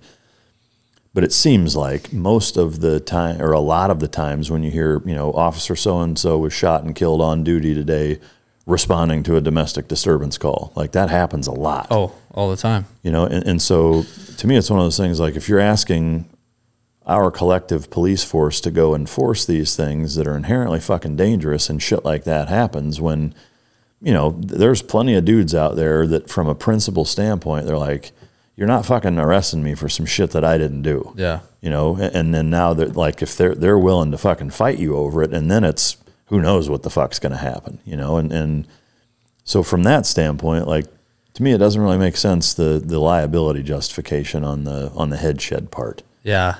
No, I, I agree with you. Uh, I've came across some people that it's never been like a significant stand down, yeah like, but some people that d- did put up, you know, a little bit of fight. But in our city, it's a two man call always. A lot of times you you see these videos where cops get shot. Um, they're going to like by themselves to these domestic violence calls yeah and they're Yeah. walking inside into their house by themselves. They're both in the room, and it's just like horrible. Um, we have different TTPs for how we handle business. Um, it's always a two man, always, and nine times out of ten, we'll try. We separate them immediately. We'll have them come out of the house, like, hey, step outside. We'll talk to one of them, and then leave like the husband inside or whatever, and then we'll deal with him later. yeah But as soon as they, I feel like we show like a good show of force with it, people usually back down. But Yeah. I guess if from a hypothetical standpoint, right? Let's uh, let's do it like a training scenario. Uh, you don't know me from anybody. You, you show up to the house and there's two of you. Um, you know, and, and woman says he whatever he got physical with me. There's no marks on her, and I say no, I didn't. You say okay, well we have to arrest you, and and and me again. You don't know me from anybody. I say, well here's the deal. Like I'm not coming out of my house. I didn't put a fucking hand on her, and you're not fucking arresting me. You come in here, there's going to be a fucking problem. Yeah. Like what do you do at that point? so if we weren't already in the house, I mean, if we're just outside the door or something like that, and you're right there like holding us back or right there at the doorway, we'd probably go hands on with my partner, Yeah. most likely. Um, and if it came in, then if it were like a no shit fight fight, then it would probably turn into some emergency situation where we had to call other people to come. But more often than not, it'd probably lead, hey, kind of ask me, you know, tell me, you know, ask you, and I tell you, then I make you type of kind of progress uh, progression there. Yeah. But we definitely probably would go hands on, probably make the situation worse. People, someone would probably get hurt Yeah. And then it'd be this whole big deal. But I, I agree with you where you're at for sure. Um, I mean, that's not an easy scenario No. for anybody. You know, I mean, like, I'm not saying, I'm not trying to be critical of, of police here because that, that's just a tough spot to be in. But I also know, you know, there's plenty of guys like us that are, are principled enough to where they're like, no. Oh, yeah. You're not coming into my fucking house and arresting me for some shit that I didn't do, you know? Um, And that, that's just a tough spot to be in. But more often than not, we how I've kind of tailored my tactic is we immediately separate them where they can't even see each other. Different room, whatever, outside, one's inside, and forever. What a point she says, yeah, he like pushed me, punched me, strangled me, whatever.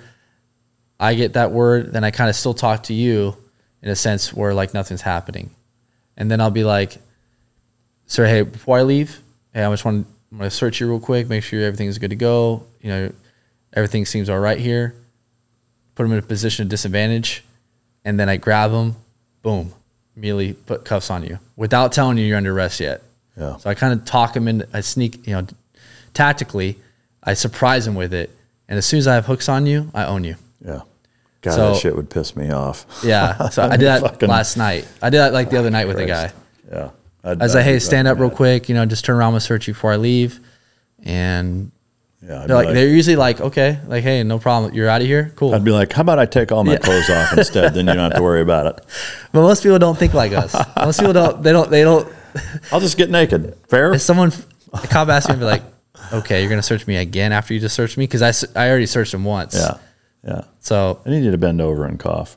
there's some there's some ways to to slap cuffs on people without them knowing Yeah. or talk them into it. Yeah. That's usually the best bet. Yeah. Fucking Christ, man. That, yeah, like I said, it's just hypothetical. That's a tough spot to be in. But um, fr- from being a cop, you know, not not that long, and at kind of the height of when it's, at least to me, seems like not a very good time to be a police officer. Have you run into a lot of the defund the police, BLM riot, fuck the police? You know, have you run into a lot of that? Yeah, I area? worked a riot already, and it was all like, it, the riot wasn't based off like the BLM or anything like that, but it had that same sentiment, and still having protests in our city. Been to numerous calls where, you know, people walking out, hey, fuck the police, you're racist, like calling me racist to my face, like calling my partners racist, and you know, that sentiment is still there for sure. Um, I wouldn't say it's everybody though. I think it's starting to dwindle away. Uh, as far as like everyone hating on the police, but as far as the stigma of police being under the radar, that's definitely still there. Yeah. That's not. I don't think that's going to go away. I think Yeah. gonna Well, I I mean, to be fair, I think I think there's a level of that that should be there. Um, the the irony, I think, with we'll say the, the BLM group specifically, because this is the primary grievance, is a, a singling of out or an assumption of because you're black that Yeah. you're going to do X. The irony is that that same group is assuming that well because you're a cop you're probably racist and want to shoot me because I'm black. You know, it's like on on both sides. You know, like if You're if you- stereotyping both yeah, if you if you don't want people to stereotype you, it's probably a good idea not to stereotype them. Again, on, on both accounts. But um, what what is your uh, well, actually, before I get into to this question, another thing in the book that I wanted to bring up is this the statistics of that is that 2020 being the the most recent year, you know, there was essentially nine instances of of police officers shooting and killing unarmed black people, uh, and and in half of the cases, they either just had a weapon and, and had assaulted them and then dropped it, and, and technically it wasn't in their hands, uh, or or a similar fashion where it was saying that they were completely unarmed is a little disingenuous, but. Either way, percentage wise, you're talking frac- a fraction of a fraction, Yeah. of, of a percentage. Um, how do you view that in terms of like what the solution is to try to make some sort of headway, having been a civilian, um, you know, for a long time before you were a cop and, and being fairly well traveled and, and seeing law enforcement and government, you know, across the across the globe. Let's say you're you're the president or you're the chief of police or whatever, is that, you know, somebody's saying, Hey, you tell us how, how we fix this problem and get back to some semblance of normal. It's never going to be you know, total fucking roses between civilians and cops by the nature of, of criminals in the job. But do you see a, a, a fix, a solution to, to any of it? I think it's being more involved with the community that you're working in. Just they call it community policing, which I think just being in and around the community and showing the positive effects that police have in the community mm-hmm. and bring that to light more because everyone talks about all the shit that happens, none of the good stuff that police do every single day. You know, they're embedded in their community. They help kids in need, families in need. You know, they're protecting you. You know, they're, they're dealing with people while you're you know sleeping in a nice cozy bed. You know, Yeah. and preventing people from robbing you. From it just there's a lot of things that goes unsaid that should become brought to light, Yeah. and that has to, that could be done with more, you know, like the community policing mindset. And I've learned that from my department because that's one of the kind of the pinnacles of the mission mission there. But if people become more aware and see the more positive things police do, then I feel like it's going to change the sentiment because, and the media is a horrible Yeah. part of it too because that all they all they do is glamorize the the horrific events. Yeah. and the And- media only shows up even in my city. They only show up when there's dead bodies on the road or there's been a shooting. That's all they care about. Yeah. Well, there, there's a, a very skewed victimization of people that, that probably don't deserve that that title either. Some of them do, but most of them don't. You know, um, most of them are pretty fucking tough customers that you know have a, a lifetime of of poor decisions that have got them to where they're at. Um, but um, what what is something that you know, speaking to the public, like what's something that, that you think the public could do or needs to know or, or would be helpful for your average citizen to, to help also? When it comes to dealing with police, mm-hmm. I'd say have this type of mindset. You know, you don't have to respect the man, but maybe respect the position. And I learned that. That's I, I learned that from the, the military. You know, kind of you respect the position that he's in. Uh, you know, go in, understand he's there. Police are there for a reason. They have a job to do. Um, and if, if they have that mindset, I think things would go a lot smoother on interacting with police. Because I feel like people don't know how to interact with the cops. You know, they as soon as they see one, I've noticed this. So it's immediately negative. Yeah. It's immediately this guy's out to get me. Something's wrong. And not you know more often than not they messed up. I mean they I'm there for a reason. I'm to you know but as a cop I use my discretion a lot.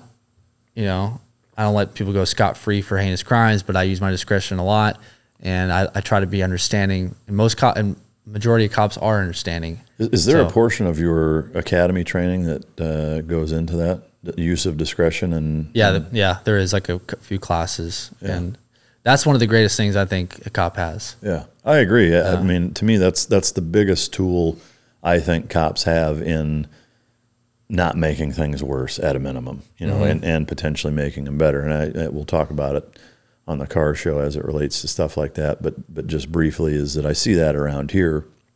You know, you've got hardworking, good, honest, tax-paying citizens, you know, that live in in good, nice suburban developments that aren't doing shady shit, um, you know, but didn't come to a complete stop and they're fucking pulled over getting a three hundred dollar Yeah. ticket for it. And it's like, for me, I, I look at that and it's, it's like, you know, if if I was you, that'd be one of those like, I'm not going to worry about that, you know, type of thing, um, because th- it's that shit that builds resentment in the Yep. people that, that do support you. Like, there's a group of people, granted they're small, but there's there's a portion of the population that fuck it doesn't matter what you do, they're going to hate you, Yep. you know, because all they do is illegal shit for a living, and so you you by default are the enemy. But you know, there's a, a large swath of the population you know, that is generally very supportive and, you know, donates money to, to police foundations and, and, you know, respects the, uh, the position, the officer, the badge, et cetera. Um, you know, but when they're, they're getting pulled over for dumb shit and Yeah. getting tickets for little stupid fucking things, um, you know, that, that wears that out kind of quick. You know? I, I agree. It absolutely does. And that's not yeah, me personally as a cop, my goal is I'm that's not my business. I mean, I'm I'm not that's not my goal. Yeah. I mean, I'm not there to jam you know, the hardworking people up for petty stuff. Yeah. Those mi- minor traffic violations. Are there divisions within the department that that's their focus? Absolutely. Yeah. And they will ticket you and cite you for the smallest of things. yeah. Um, that's just the way it is, and that's because at that because it's all about numbers, about stats, about To me, it's like the same problem that the Department of Education has uh, instilled on on our education system is that it's teaching to a test. Like like if that is your goal, you're you're inherently creating fucking problems in your community. I, I don't understand how headshed doesn't see that.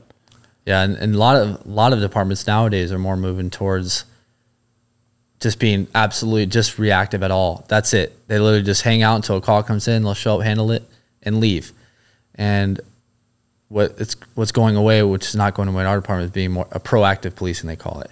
You're basically out there actively engaging, looking for criminals Yeah. in bad neighborhoods and areas of high crime, um, which we do a lot in my department. Like majority of the night, that's what I'm doing. I'm not pulling people over ever unless they. I know there is some like criminals which catches your eye in vehicles. I'll pull them over. Yeah. Um, and coming out of bad neighborhoods. So What what are the flashing lights of that's a fucking bad dude? so typically it's shaved head, I got packed out with like cars, tattoos on the face. I'm criminal profiling.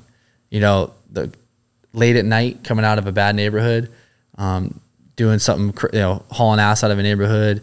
Usually you get like a quick glimpse, like you see like shaved head, some tats on the face, or you see like a like a big flat brim hat. Um, and they're usually kind of loaded out with like not just one person. It's usually like they have three or four heads in the car. Yeah. Um, usually will catch your eye, and they usually drive like jackasses. Yeah. Late at night, it stands out. Or sometimes, or they'll may not have their headlights on or something like that because there's just like these little tiny little fuck ups they do Yeah. that stand out at two, three o'clock in the morning. Yeah. And you're just like, yeah, that's a bad dude, or they're up to no good, or they may have like fucking guns or dope in the car.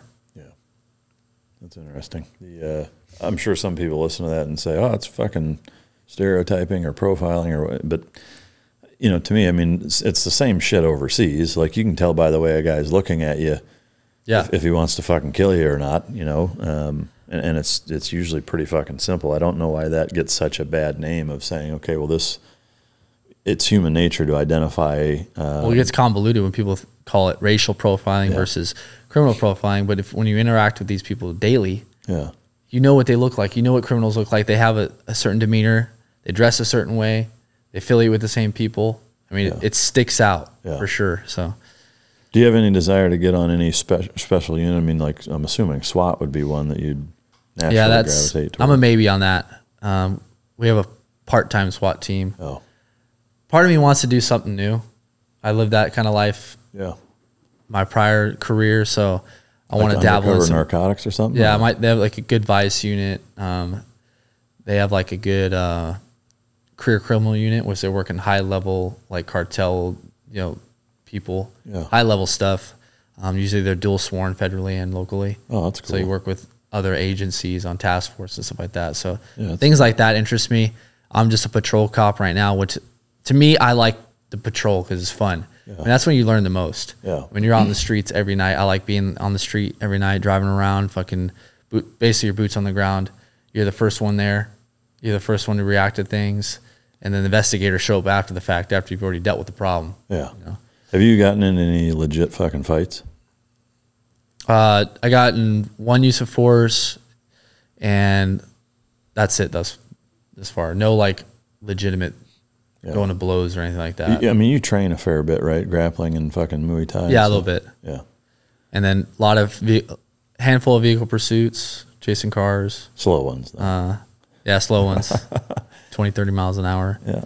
Uh, but yeah, I've gotten to see a lot of things like shootings, stabbings.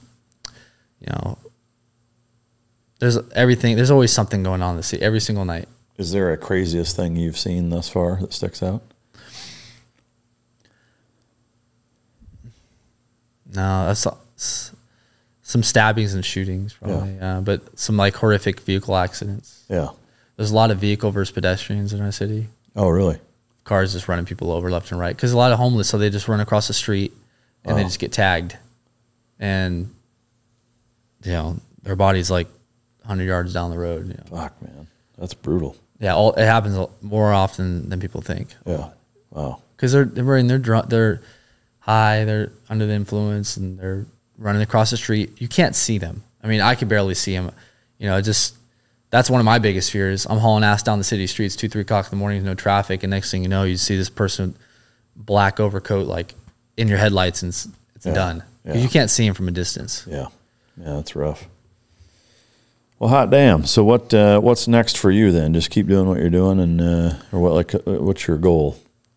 Yep, still grow as a cop. Um, become better at that. Learn as learn as I go, and then still do, going strong with my business. I still want to hammer that.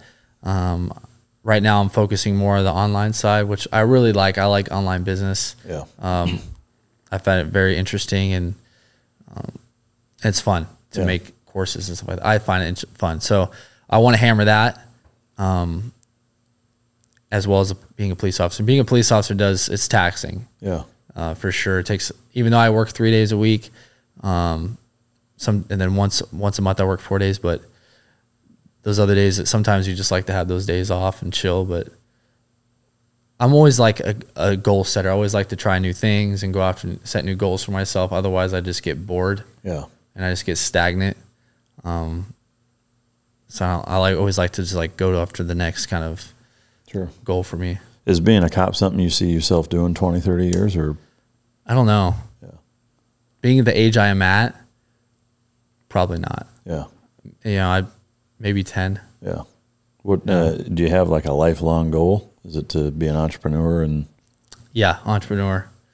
Uh, I like owning my own business. Is, is I get a lot of fulfillment from that. yeah. Yeah.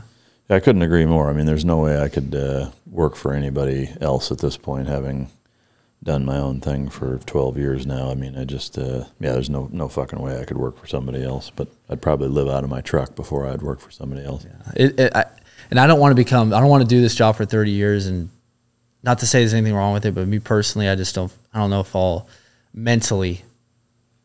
I could uh, kind of take it. Yeah, No, I, don't think it's like I told you earlier. It's really easy to become negative and calloused Yeah. with people, and and people think like, oh, how's that possible? But the people that you interact with, Yeah. you just become disgusted with sure. actions of people. You know, Yeah. Well, I think that's where a lot of the uh, um, officer involved issues come from. I mean, it's it's rare that it's like, oh, this dude's been on the force four months and he's, you know, it's a guy that's been around, you know, for years. 15, 20, yeah. in a shitty environment that you know that just deals with the scum of the earth trying to kill him all day every day and yeah i mean that's that's naturally and inherently going to skew your perspective of the population you know if that's all you deal with That- that's i think it's pretty obvious but uh, i think it's also one of those things that unfortunately that's just part of of that gig i wonder if maybe like better rotations where they're moving guys in and out of, of certain spots maybe a little more frequently instead of letting a dude spend you know four years straight working nights in a fucking shitty inner city you know Yeah. spot. I don't know, but does that make seem like it would make sense? Or? Yeah, so and just trying out maybe go to investigations or a different like division or something like that where you're you have a normal kind of a normal schedule. You're doing more investigations. You know, you're not interacting with the public twenty four seven. yeah, You know, yeah, that's that's people's image of cops is the p- patrol officer. yeah, They don't think of like detectives or anything like that. They, you know, that's what we're like this under the microscope, the patrol officer. So They think about uh, Tackleberry from Police Academy with the fucking with the radar gun fucking everybody over. yeah, Yeah, I've used one of those. On the, I only used it once on training. I'll never use it again. the radar, yeah, the laser. yeah, the lidar. Use lidar. Oh, we're going to get all into that into the car show. If you want to check them out on the car show, it's Uninfluenced. It's the other show that I do where we uh, shoot the shit, uh, tell dirty jokes, and talk about cars and bikes and politics and you name it. So check that shit out. But uh, well, Travis, I appreciate the hell out of you coming. It's been uh, awesome hearing your story. Appreciate you sharing it with us, uh, and especially the perspective on transitioning over into being a, a police officer and what that's like, and and uh, you know, it's just such a big uh, big part of of our society uh, lately in the last few years of, of uh, kind of things that have gone gone on and transpired, and, and some of the divisiveness that uh, that has stemmed from policing in, in this country. So I think it's good to to hear uh, you know cop side of the story and and uh, get get your guys' perspective on it. So I appreciate you doing that. Yeah, absolutely. Thank you again, Mike. Yeah, absolutely. Um, where where can people get a hold of you uh, to do the online training and uh, just if they want to do any courses or anything like that? So two places, my website, kennedydefensivesolutions.com, and then you can find me on social media at Travis Kennedy 267. So it's the two places where Okay. Well, there you have it. If you want to get some uh, some shooting instruction, uh, go check that shit out. And uh, yeah, uh, just from uh, from my standpoint, as always, I appreciate the uh, the viewer, the listener, the supporter, constantly and routinely tuning in episode after episode. Because if not for you guys, we wouldn't have a show. So. Thank you for your support. My book, which you can see in, in Travis, can you hand me that? Uh, my book, Unfuck America, uh, comes out uh, probably about when this drops. So uh, go check this out. It's all things politics and uh, my my thoughts after running this show for the last three and a half years of interviewing a lot of amazing individuals uh, like Travis and getting different people's takes on what the issues are and how to solve them. So check that out. It's available on Amazon or MikeRitlandCo.com. And until next time, this is Mike Drop.